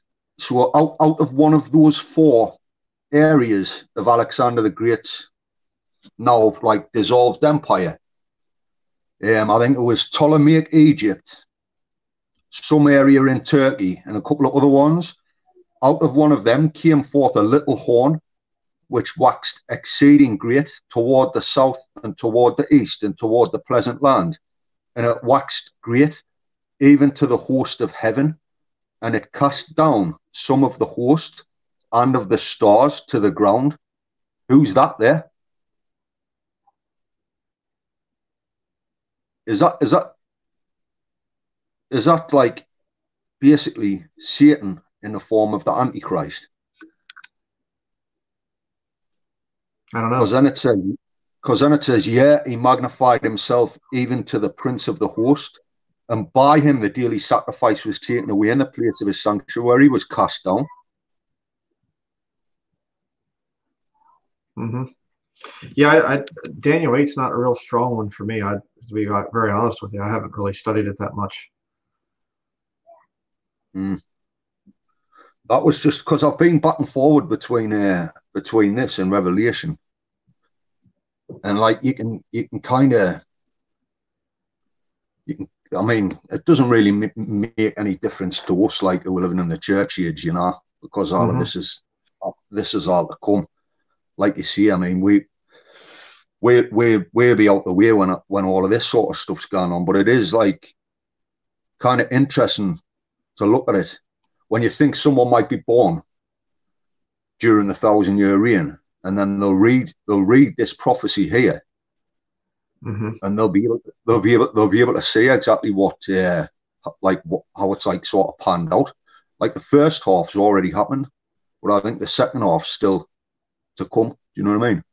hmm Yeah, I don't know. It's it's like I said, that's something I haven't really haven't I haven't gotten much into Daniel chapter eight. So just gotta be Oh, honest, well. I don't know. No, it's I mean it's uh, oh, it's neat props. Um, I, I've I've been through Daniel quite a few times and that, like looking at the horns and all the rest of it, and like the empires and all all of that sort of stuff. And like hmm there's so much you would have to you would have to put like you know how like detectives create them big boards and they put like they put like faces on them and connect them with bits of string and stuff like that. Yeah, you'd probably have to go through that sort of process in order to try and fathom out what, what what's actually going on here. But I I do I do get I do get that some of us some of it um, uh, uh, we'll never be able to understand. You know. Anyway, I just thought I'd pop in like because I've never yeah. I've never been on like I've got my own videos, but I've I thought I've never been on one of yours like so. There you have it. Mhm. Thought Yeah. yeah. Yeah. I just like to say hello to Jacob and all. How, how you doing? How's things over there in the UK? Ah, it's it's all right. Yeah, like I say, we're all we're all on lockdown and that. Um, that where I work, um, you're probably aware from my videos that I work uh, at Nissan building building cars. They've just built uh, a multi-million pound facility opposite.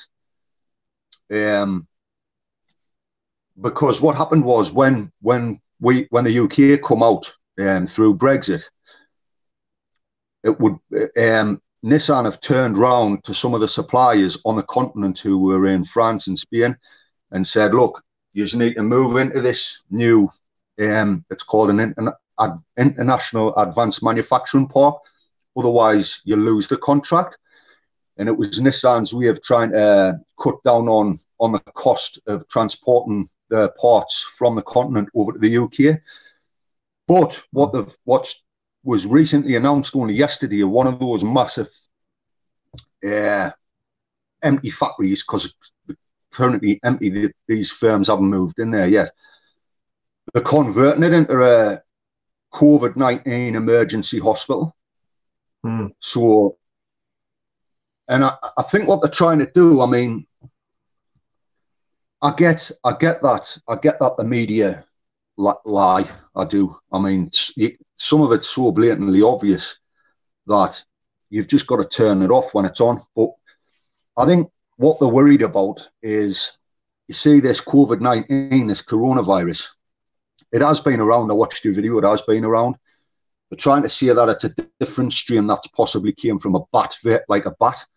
Um, and I think what they're worried about, because I think the I was reading the flu has a 0.1 um, percent death uh, ratio. So every 0.1% of people who get the flu will die.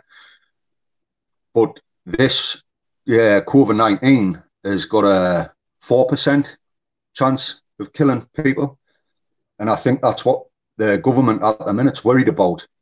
If people continue go about go, going about their regular, normal, daily activities, um, and because it has a higher chance of spreading, yeah, I get, I get, I get this, I get this. Like I, this has all come, this has all come from reading uh, news articles, and this has all come about from watching the news and all that. And I know, I know that that stuff is de- designed to spread fear, if not just outright lies. But I think they're worried in this country anyway about about the NHS becoming overwhelmed with people taking up beds and ventilators and stuff like that. So, aye, it's pretty much sitting in the house.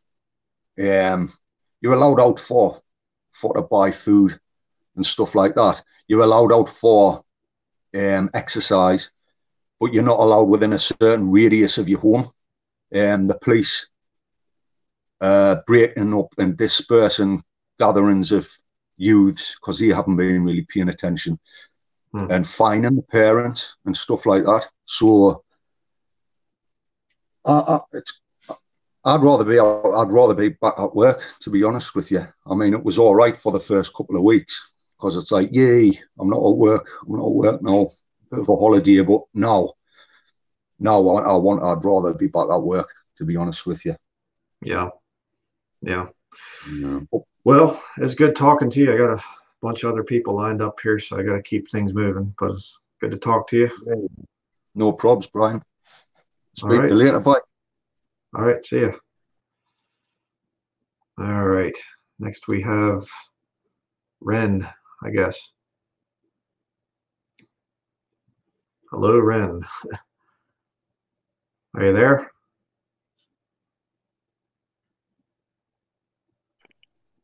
Hello, can you hear me? Yep, I can hear you. Uh, okay, I just have one quick uh, one quick question. Okay.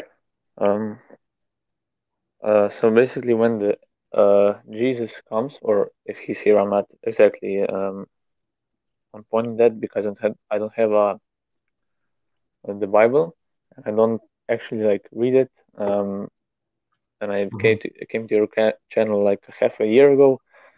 Um, so I have a quick question. Like when the Jesus comes and picks up the bodies, you know, into the heaven, how will that look like? So he picks you up. Um, will that resemble in a death, death, um, or how? How about? No, I believe that the bodies will actually be- disappearing. The the uh, Christians will be just gone. Uh, Enoch in the Old Testament um, typifies that. It says he was not found. So the, when the resurrection happens, the dead in Christ that are currently buried, the saints that have died in the past, they'll be caught up, and then living saints will go up as well. So there will be, Hmm. you know, Christians will be gone. Oh, okay. Um, yeah, that's ju- just what I tried to like ask you. Okay, thank you for answering. Sure. Okay. We'll go on to the next one. Here. Shane. Oh, dude. I've been waiting to talk to you, Bryan. Well, here I am. Well, first of all, I would like to thank you with everything that I have, Bryan, because I'm actually originally from Pennsylvania, Lancaster. Oh, Sorry, Oh, yeah? dude, I'm a little bit nervous. I feel like I'm meeting like Justin Bieber as a lost man or something. you know, No. like I look up to you so much. It's not even funny, man. Wow. Like you're the reason I have this right now. This is a local Bible publisher's Bible, and I watch that because oh, Good. man. Yeah, but uh it's a rough time right now and hmm dude, your videos are keeping me going and the most recent one on the men going their own way, like I needed to hear that, dude. I feel convicted in every single video you make, and I love that, dude.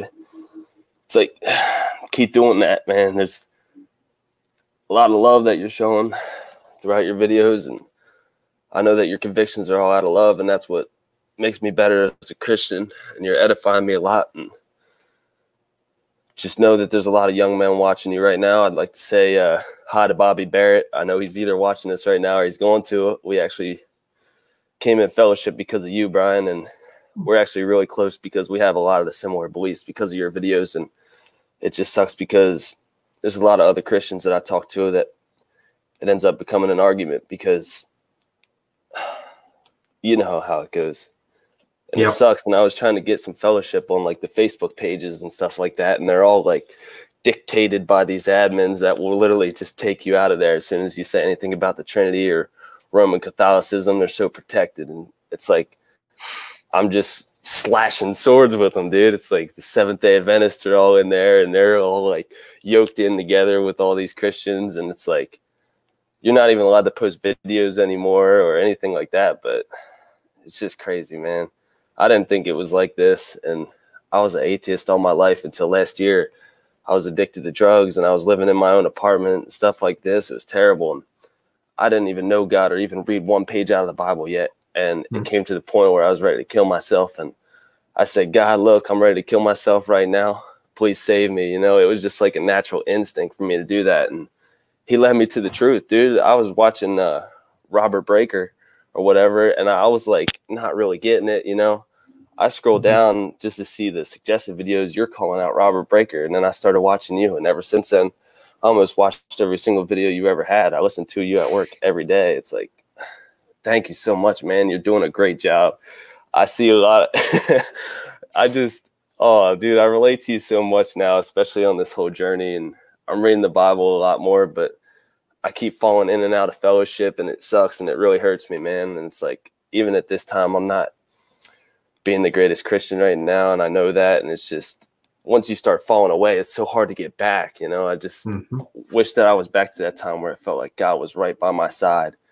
But it's like I keep doing things that are terrible, man. It's almost pushing him away. You know, it's like Yeah. Yeah. Well, it, it can happen, you know. And I, I certainly have had my times up and down and things, you know. So the Lord's always willing to forgive, you know, and, and you can get back in fellowship. You're absolutely right, Bryan. How are you and your family holding up? Good. They were doing great. Yeah, we just got uh, about 18 inches of snow just two days ago.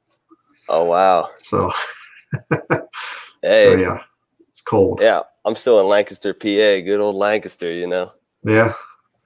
Yeah. Yeah. What part of Lancaster? Uh, I'm actually in the Susquehanna Valley. I live in Bainbridge, PA.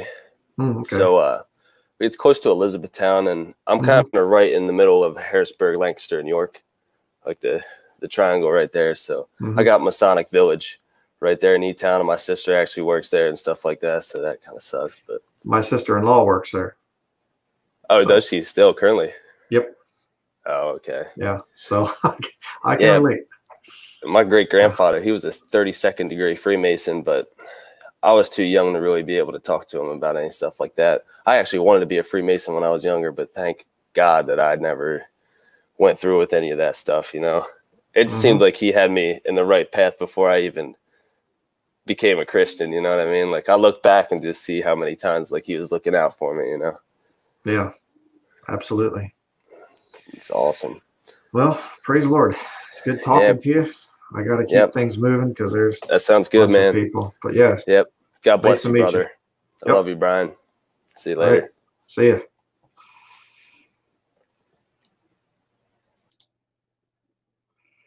Okay. All right, Roger. Hi, Hello, Roger. hello. Yep. Hi, brother Bryan. It's uh it's an absolute blessing to be. Can you hear me? Okay. Yeah, I can hear you. Okay. Good. good. I know people are kind of having some, you know, uh, internet problems. Just want to make sure it's working all right. But I just want to say, Mhm. it's an absolute blessing to talk to you. Uh, the Lord uses you, uh, in just to where you're the only preacher I listen to.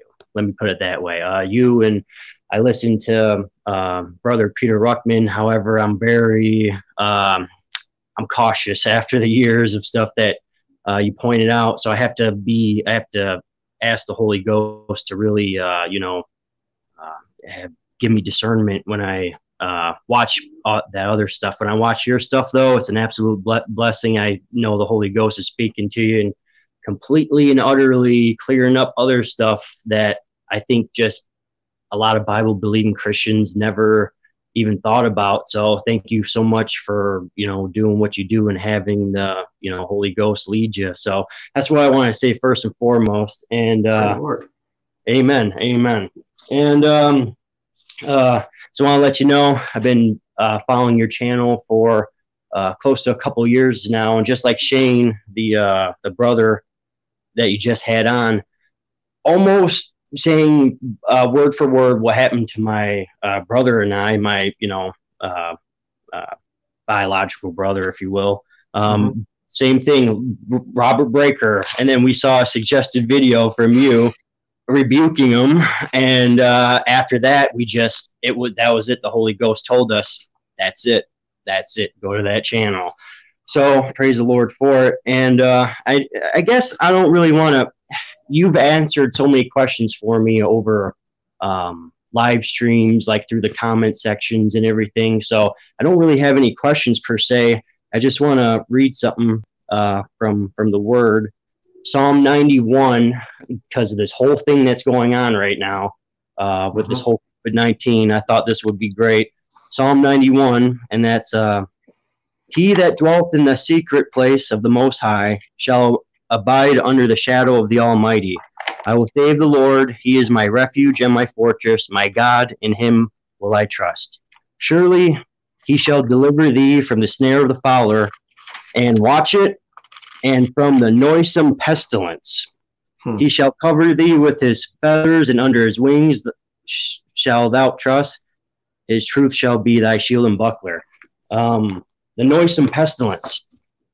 Uh, that's what's going on here. Uh, I live in the Detroit metro area. I live in Warren, which is literally just two miles away from Detroit, just to give everyone an idea.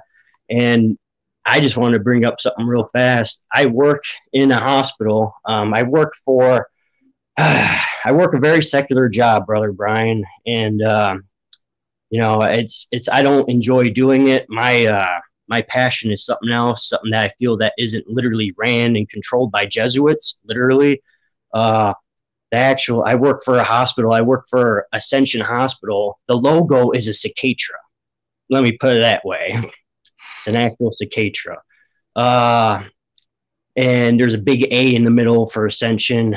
Um, but yeah, this is what I do right here. Um, sterile, oops, backwards, sterile processing tech. Hmm. And I'm on the front line. I'm not a nurse by any means. I don't deal with patients directly, but I basically used to clean and sterilize surgical instruments. And I can tell you, this whole COVID, this corona thing going on right now, bizarre. I mean, when I say if you go to the hospital, I know the news, the mainstream media, which I don't listen to, and I praise the Lord that you spoke on that years ago. It's all propaganda. It's all literally lies from start to finish. So, um, yeah, it's just complete lies. But anyway, uh, but unfortunately, there's so many people, especially people I know directly, that are just so hooked on it. So, you know, I try to point out stuff to them. Uh, stuff like, for example, all these beds are supposedly filled, right? All these beds. If you went into the hospital that I worked in right now, it's dead, dead. There's no one. There's no one in these rooms. There's no one. Is this whole thing is just bizarre, you know. So I just wanted to bring that to attention. I know you're an extremely busy man. The Lord keeps you busy. So yeah, I just wanted to throw that by you. This whole thing is just. Uh, it really is the end times. It's it's um, it's amazing, you know. hmm Yeah, it's it's there's a spiritual aspect to it, definitely. Yep. Yep. Yeah. Yeah. So, So all right. Well, yeah. very. Go ahead. Oh no, I was just about to say, truly, um, thank you so much, and uh, I pray for your family, um, and uh, you and your family, uh, almost every night. Um, as much as my fiance, remember to try to always, uh, if there's something that I know um, that I can bring your family, get your involved, and pray for them, and blessings upon you and your family. Stay healthy, keep fighting a good fight, and uh, my my family and I are here to support you. So, um, uh, yeah, I know it's hard. I can only imagine spiritual attacks. Me as a um, someone who doesn't has you know only my walk with the Lord so far. I know spiritual attacks are hard. So I just pray that the Lord protects you and your family and hides you in the cleft of the rock and covers um, you with His hand. So I appreciate and, that. uh, and of course, anytime you're welcome. And uh, to the rest of the brethren out there, please uh, just stay, keep to the word, keep to the word, um, and uh, uh, remember that uh, the Lord is, you know, uh, if the Lord's with us, who can be against us? So, and uh, you, you know, so God bless Amen. It's good talking to you. you as well, brother. Amen. Bye bye. See ya. Okay, next we'll go to Andrew John. Oh, hi. Hi. Sorry it took so long to get to you. No, that's okay. Uh, you got a line of people I know. Um, I was um, I, I wanted to chime in a little bit and just say, yeah, this whole thing's contrived. Um, you know, they inflate the numbers. Um, there was a doctor that came out from Montana, uh, and and they had a conference there, and she um, uh, Bu- Bukacek, I think her name is. I don't know if you've seen anything on her. Uh, I posted in in chat though um, her name, but um, yeah, it's it's definitely part of the beast system. They're rolling out, you know, everything related to it is is part of it. So Yeah. but thanks for for hanging in there and and you know exposing some of that. I wanted to know, um, are you still following uh, David Hoffman? You still watch his videos? I, I haven't had a chance to a whole lot. Yeah. I, Well- I recommended his study Bible the one time, and I, I really haven't, you know, had much time to check into him. Why? Yeah. Well, um, he's come out for you know the uh, flat Earth thing and all this. He posts videos on it and very interesting. Um, but he's been doing that for probably since 2017. By the way, I've been watching your stuff since uh, 2014, I think, and trying to support as I can. And so I've been a long time, you know, watcher of your, you know, I guess you could say follower of your stuff. Very, I mean, it's um, helped me a lot. um, uh, I, I kind of, you know, it, it um, I relate to you a lot because my mom's side of the family are German Mennonites as well, Schultzes and, Schultz and um, so I grew up around them. Um, and, uh, and uh, I think that's, that's one of the reasons why, why I, I trusted in a lot of the stuff that you're, that you're saying. And, uh, you know, from the Bible as well, you know, you can, Right, you, read, yeah. you know, it's just right there. So, um, but yeah, it, it helped me get back into the book. I've been saved since I, you know, I'm, I think I'm, uh, I'm probably about your age, 44.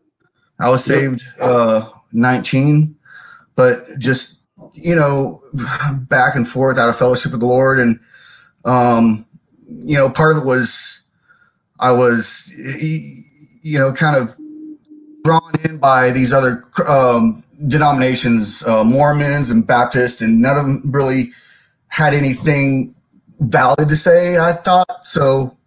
I I I, I was like, you know, just kind of drifting with the wind for a while, and um, uh, watching your videos helped me get back get back into reading and stuff. So I, I really appreciate that. Great. Uh, Praise the Lord. so uh, the, the David Hoffman thing, he, he uh, put out a question uh, on his mailing list. So he mailed um, you know a bunch of people who supported him, whatnot, and who he's been in contact with, um, asking for ideas for videos, right? So I kind of kicked him a little bit, I, and I wanted to know where his stand was. Uh, I, I, I asked him, could you please do a series on why you are not a Trinitarian? And he responded back, um, you know, I, I don't see where you get that idea because I am a Trinitarian, you know, um, what, you know, so I, I was just like floored by that. I mean, I kind of expected it, but to hear it come out of his own mouth w- was kind of shocking. Hmm. So, you know, I refer to him to, uh, I refer to him uh, a, a couple of your videos and, and some scripture, you know, some, you know, the John 6 uh, and, and, and a couple other things. Mhm. And, uh, and, and he, he, he responded back in a way, he, he kind of attacked you, made it all about you, you know? And I, I guess, you know, he's been, he's been watching your stuff too. He, he said, you know, and, but he, he just like, it, I found it strange that, that, he, you know, it's like, you're not supposed to, to go along with what people say. You're supposed to read scriptures and pray about it, you know? Mhm. So I I wonder what your thought is on that. What, why would he just make it, you know, attacking Bryan Denlinger? You know, of of course you're going to attack the messenger, but you know, it- you think, you think that's maybe because you're one of the few people that I that I hear talk about this subject. Yeah, it's it's it's something that these guys. I'm getting the echo thing again. um, it's something that these guys they feel threatened about it because um, they. I guess if they if they say if if I come out against the Trinity, then that's going to mean I'm going to lose fellowship with a lot of the teachers that I've recommended and whatever else. So then they'll just instead of dealing with the scriptures, they make it about me that it's my doctrine that I teach, and it's not. Yeah, it just is not.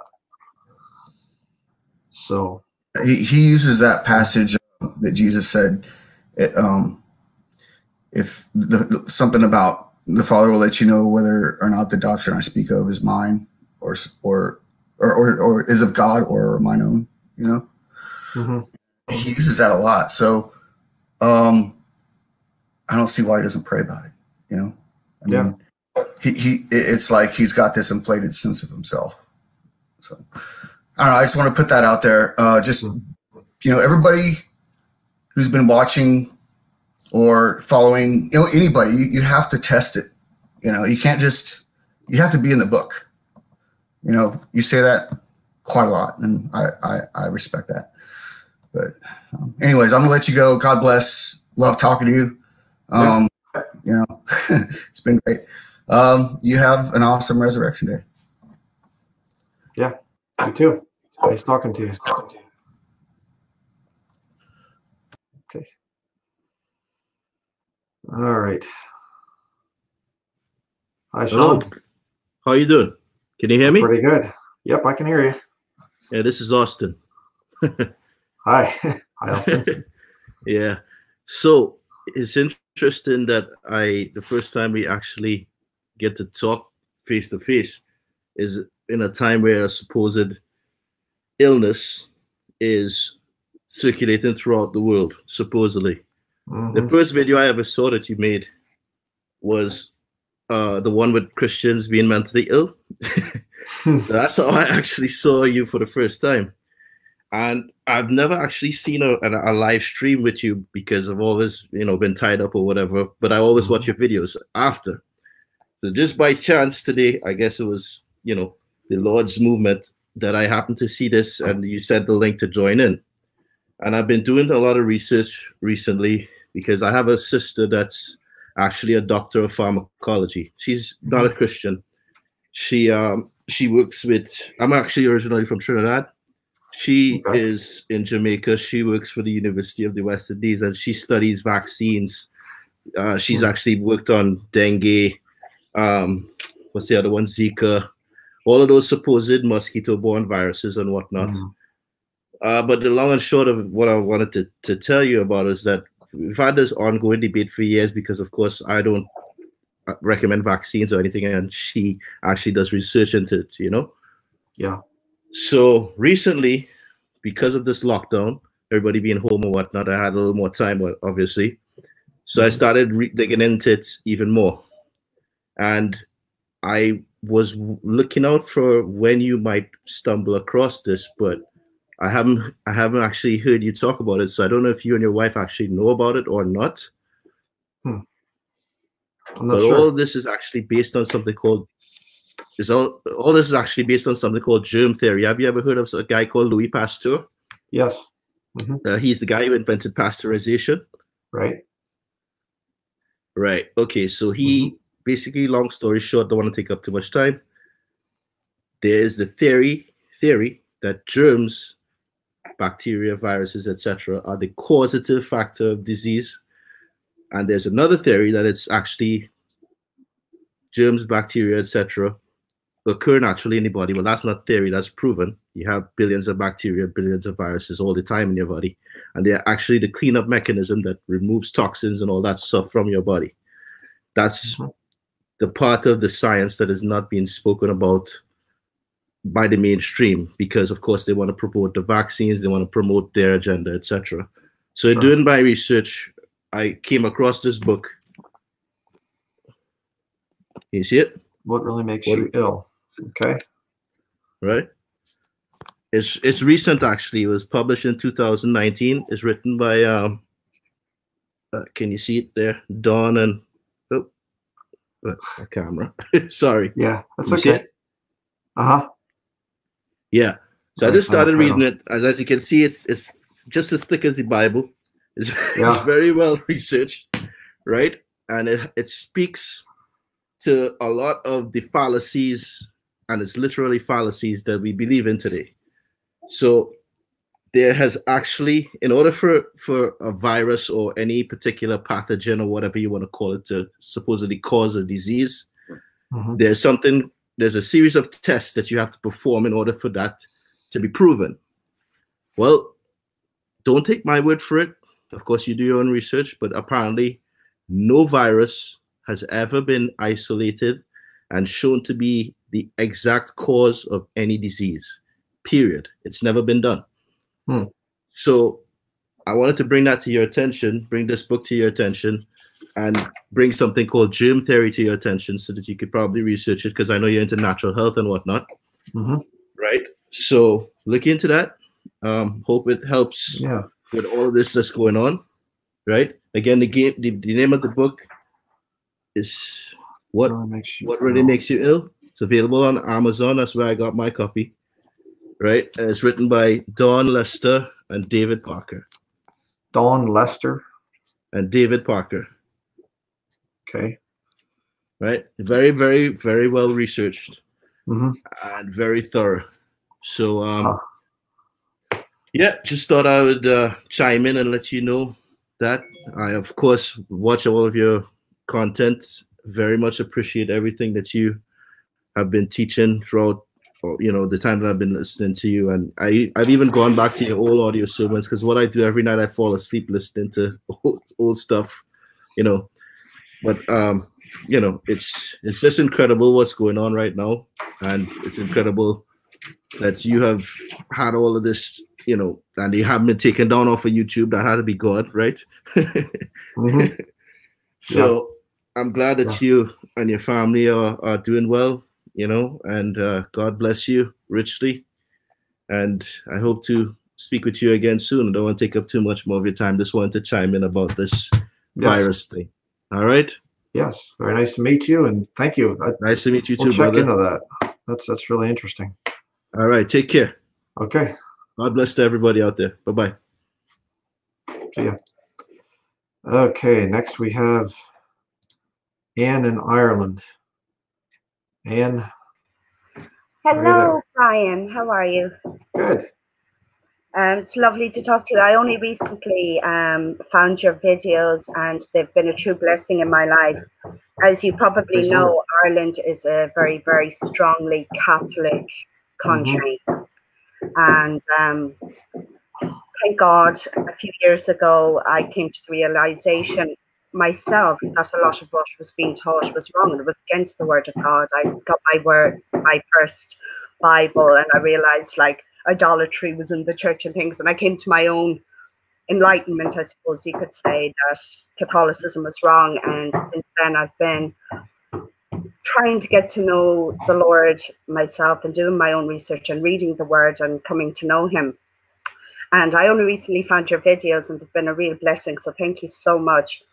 Um, somebody else brought up Robert Breaker there um, a few Mhm. moments ago, and he was one of the people that I had been watching.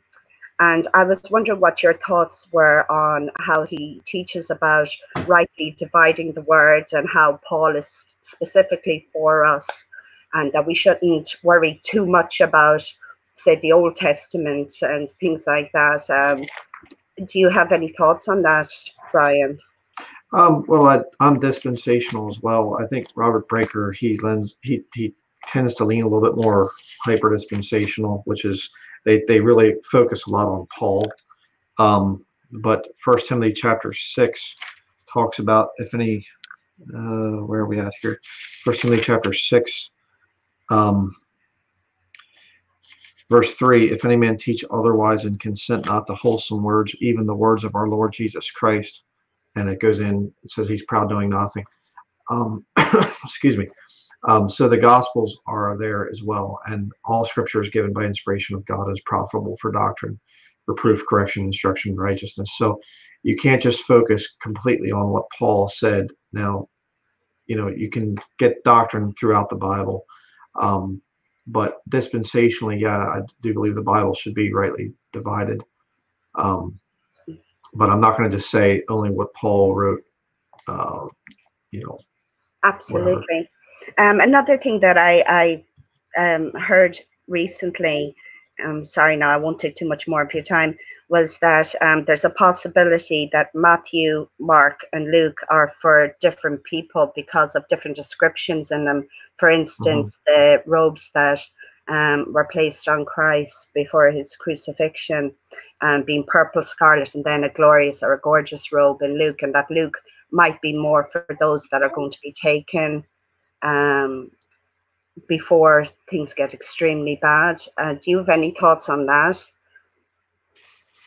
um, That Luke is not- more for, I, I haven't really studied that. yeah. Honestly, I've heard it, but I haven't really looked into that issue that much. Thanks a million for your time. It's been a pleasure, and I look forward to research more of your videos over time. And God bless everybody here and your family as well, Bryan. It's lovely to talk to you. God bless you. God bless you. Okay.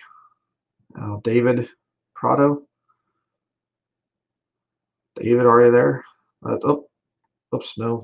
Add to live stream. There we go. Okay. Uh, can you hear me? Yeah, I can hear you.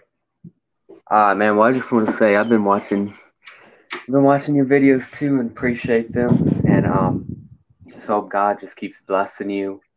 And man, I'll be thanking thanking God for your work that you've done, and just just hanging in there and sticking sticking with the truth and being bold. And I just I just have two things. One is kind of like I just want to get your take on it. Um, if you go to, I mean, I, I know you know it is um, First John chapter 5 hmm verse verse thirteen. Right. It's just speaking about how you can know you have eternal life. And for me, I just been studying, just trying to clarify the gospel, you know, the process of it, to not only help authenticate myself, right, to confirm myself, but to help other people. And I just wanted to be able to tell people how you can know as clear as I could be. And it says here that you can know, and at the beginning of the first 13, it says, I have written unto you. So technically, he wrote unto you how you can know. And mm-hmm. I believe, obviously, all of First John is good, good test for you. But I believe the summary of it is in chapter 5, verse 3 and 4. Um, well, if you look at verse 2, 3, and 4, it says, By this we know that we love the children of God, when we love God and keep his commandments. For this is the love of God, that we keep his commandments, and his commandments are not grievous. Well, I guess it would be 2 and 3, but um, now we know that you actually have to want God and want what he says, right? In verse 3, it says that they're not grievous, right? You, if you grieve to do what God wants, then you probably don't want God. But then the next part is um, what does it mean to keep his commandments? Because I hear all the time all these people saying you need to obey, you need to obey, you ain't gonna make it, stuff like that. And keeping his commandments could mean obey, but we know that you don't need to obey anything except the gospel today. I mean, I'm pretty, it's pretty clear in the Pauline epistles. He always says, "Obey the gospel, obey," and then once you obey, you want to do it. But um, the what I wanted to tell you is, it, it, tells you three things. It's how it tells you how you can know if you love God and you keep His commandments. And it turns out that in the Gospel of John, it also talks about this. So if you don't mind going to the, the Gospel of John, chapter 14, hmm just real quick.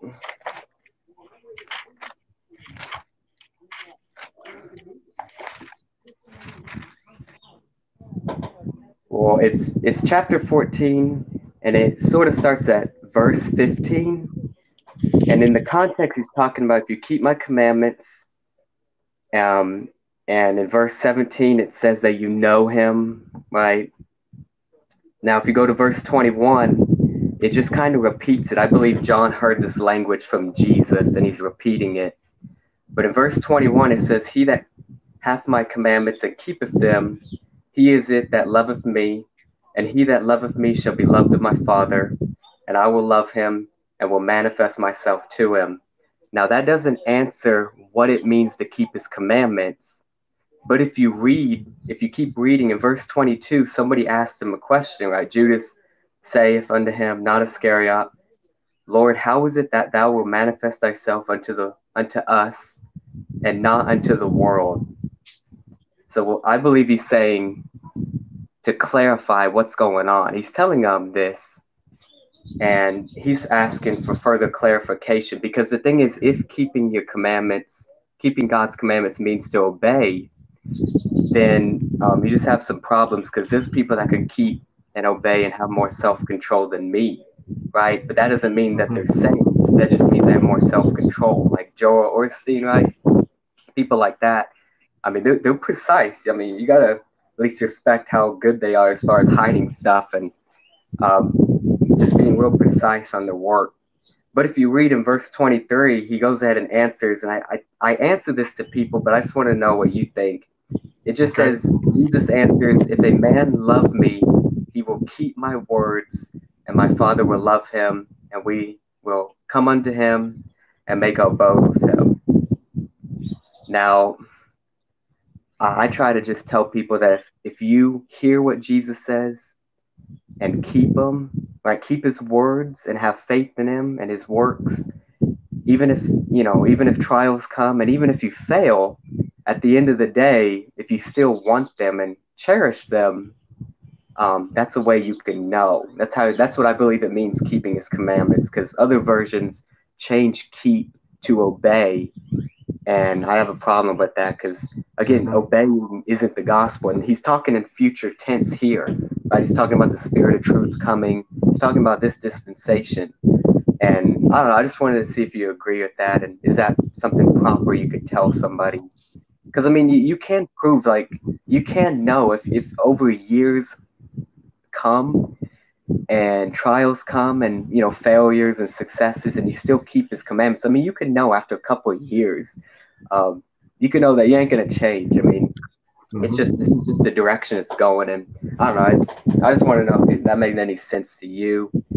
I know it didn't really make sense to a lot of other people, but um, that's just something I thought maybe it would Yeah. be important.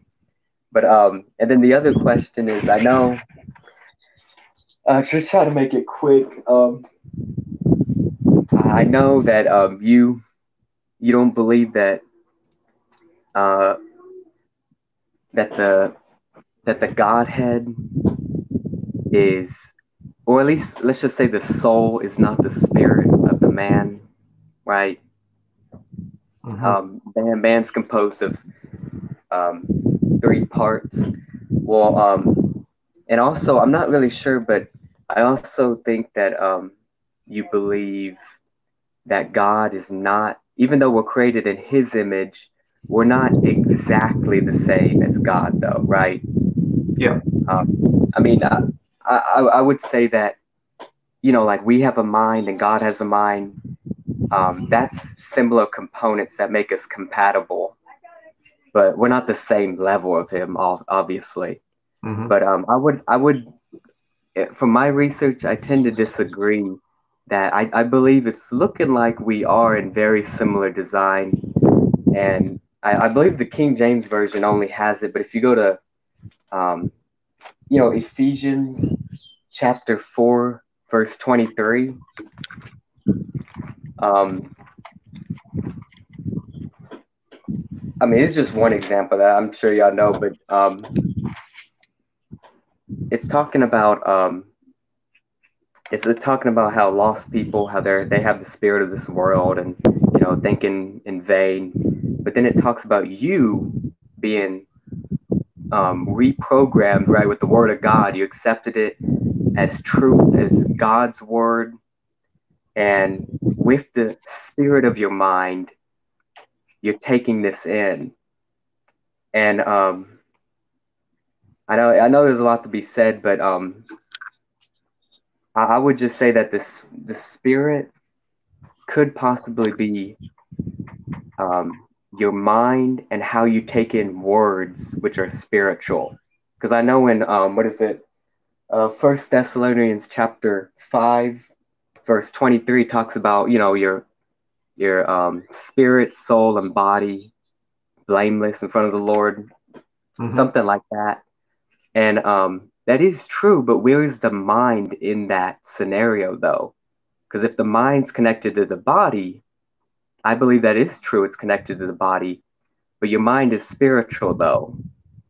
And if your mind's spiritual and can take in spiritual things, um, I just believe that your soul might be, because I know that you understand that the soul is connected to your mind clearly. Um, Mhm. I'm just saying that you, when you take in information, your soul adheres to that, and that's how it could be connected with other people and God. If you take it in and you desire it and keep it, um, I believe that there, there's just there's just a lots of weird stuff like that. But um, I just I just had a question that um that, that there's just a lot of similarities between us and God. Um, another one is how how could God um, how do you say how could God bear witness of himself? Right? People always put that on, especially people that don't believe that Jesus is God. How could God bear witness of himself? And you know, it's a good question, but we can actually bear witness of ourselves with our conscience, right? Um, Paul does it, and you know, Paul does it. What what verse was that? Uh, I, oh, Romans nine verse one. Okay, hold uh, on. and Here, Romans two. just hold on for a minute. Um, we're I'm gonna have to get going here. Okay. Oh, I, I, I may talk so much, but I, I, just I just appreciate all your work. Thank you. Yeah, not a problem. So, Uh, bye. hearing from you. Okay. Um, just looking at the time, I'm gonna have to get going. So, uh, nice to hear from everybody, and um, we will see you in the next live stream. But like I said, I have to get going. So that's gonna be it. Thank you, everybody, for watching.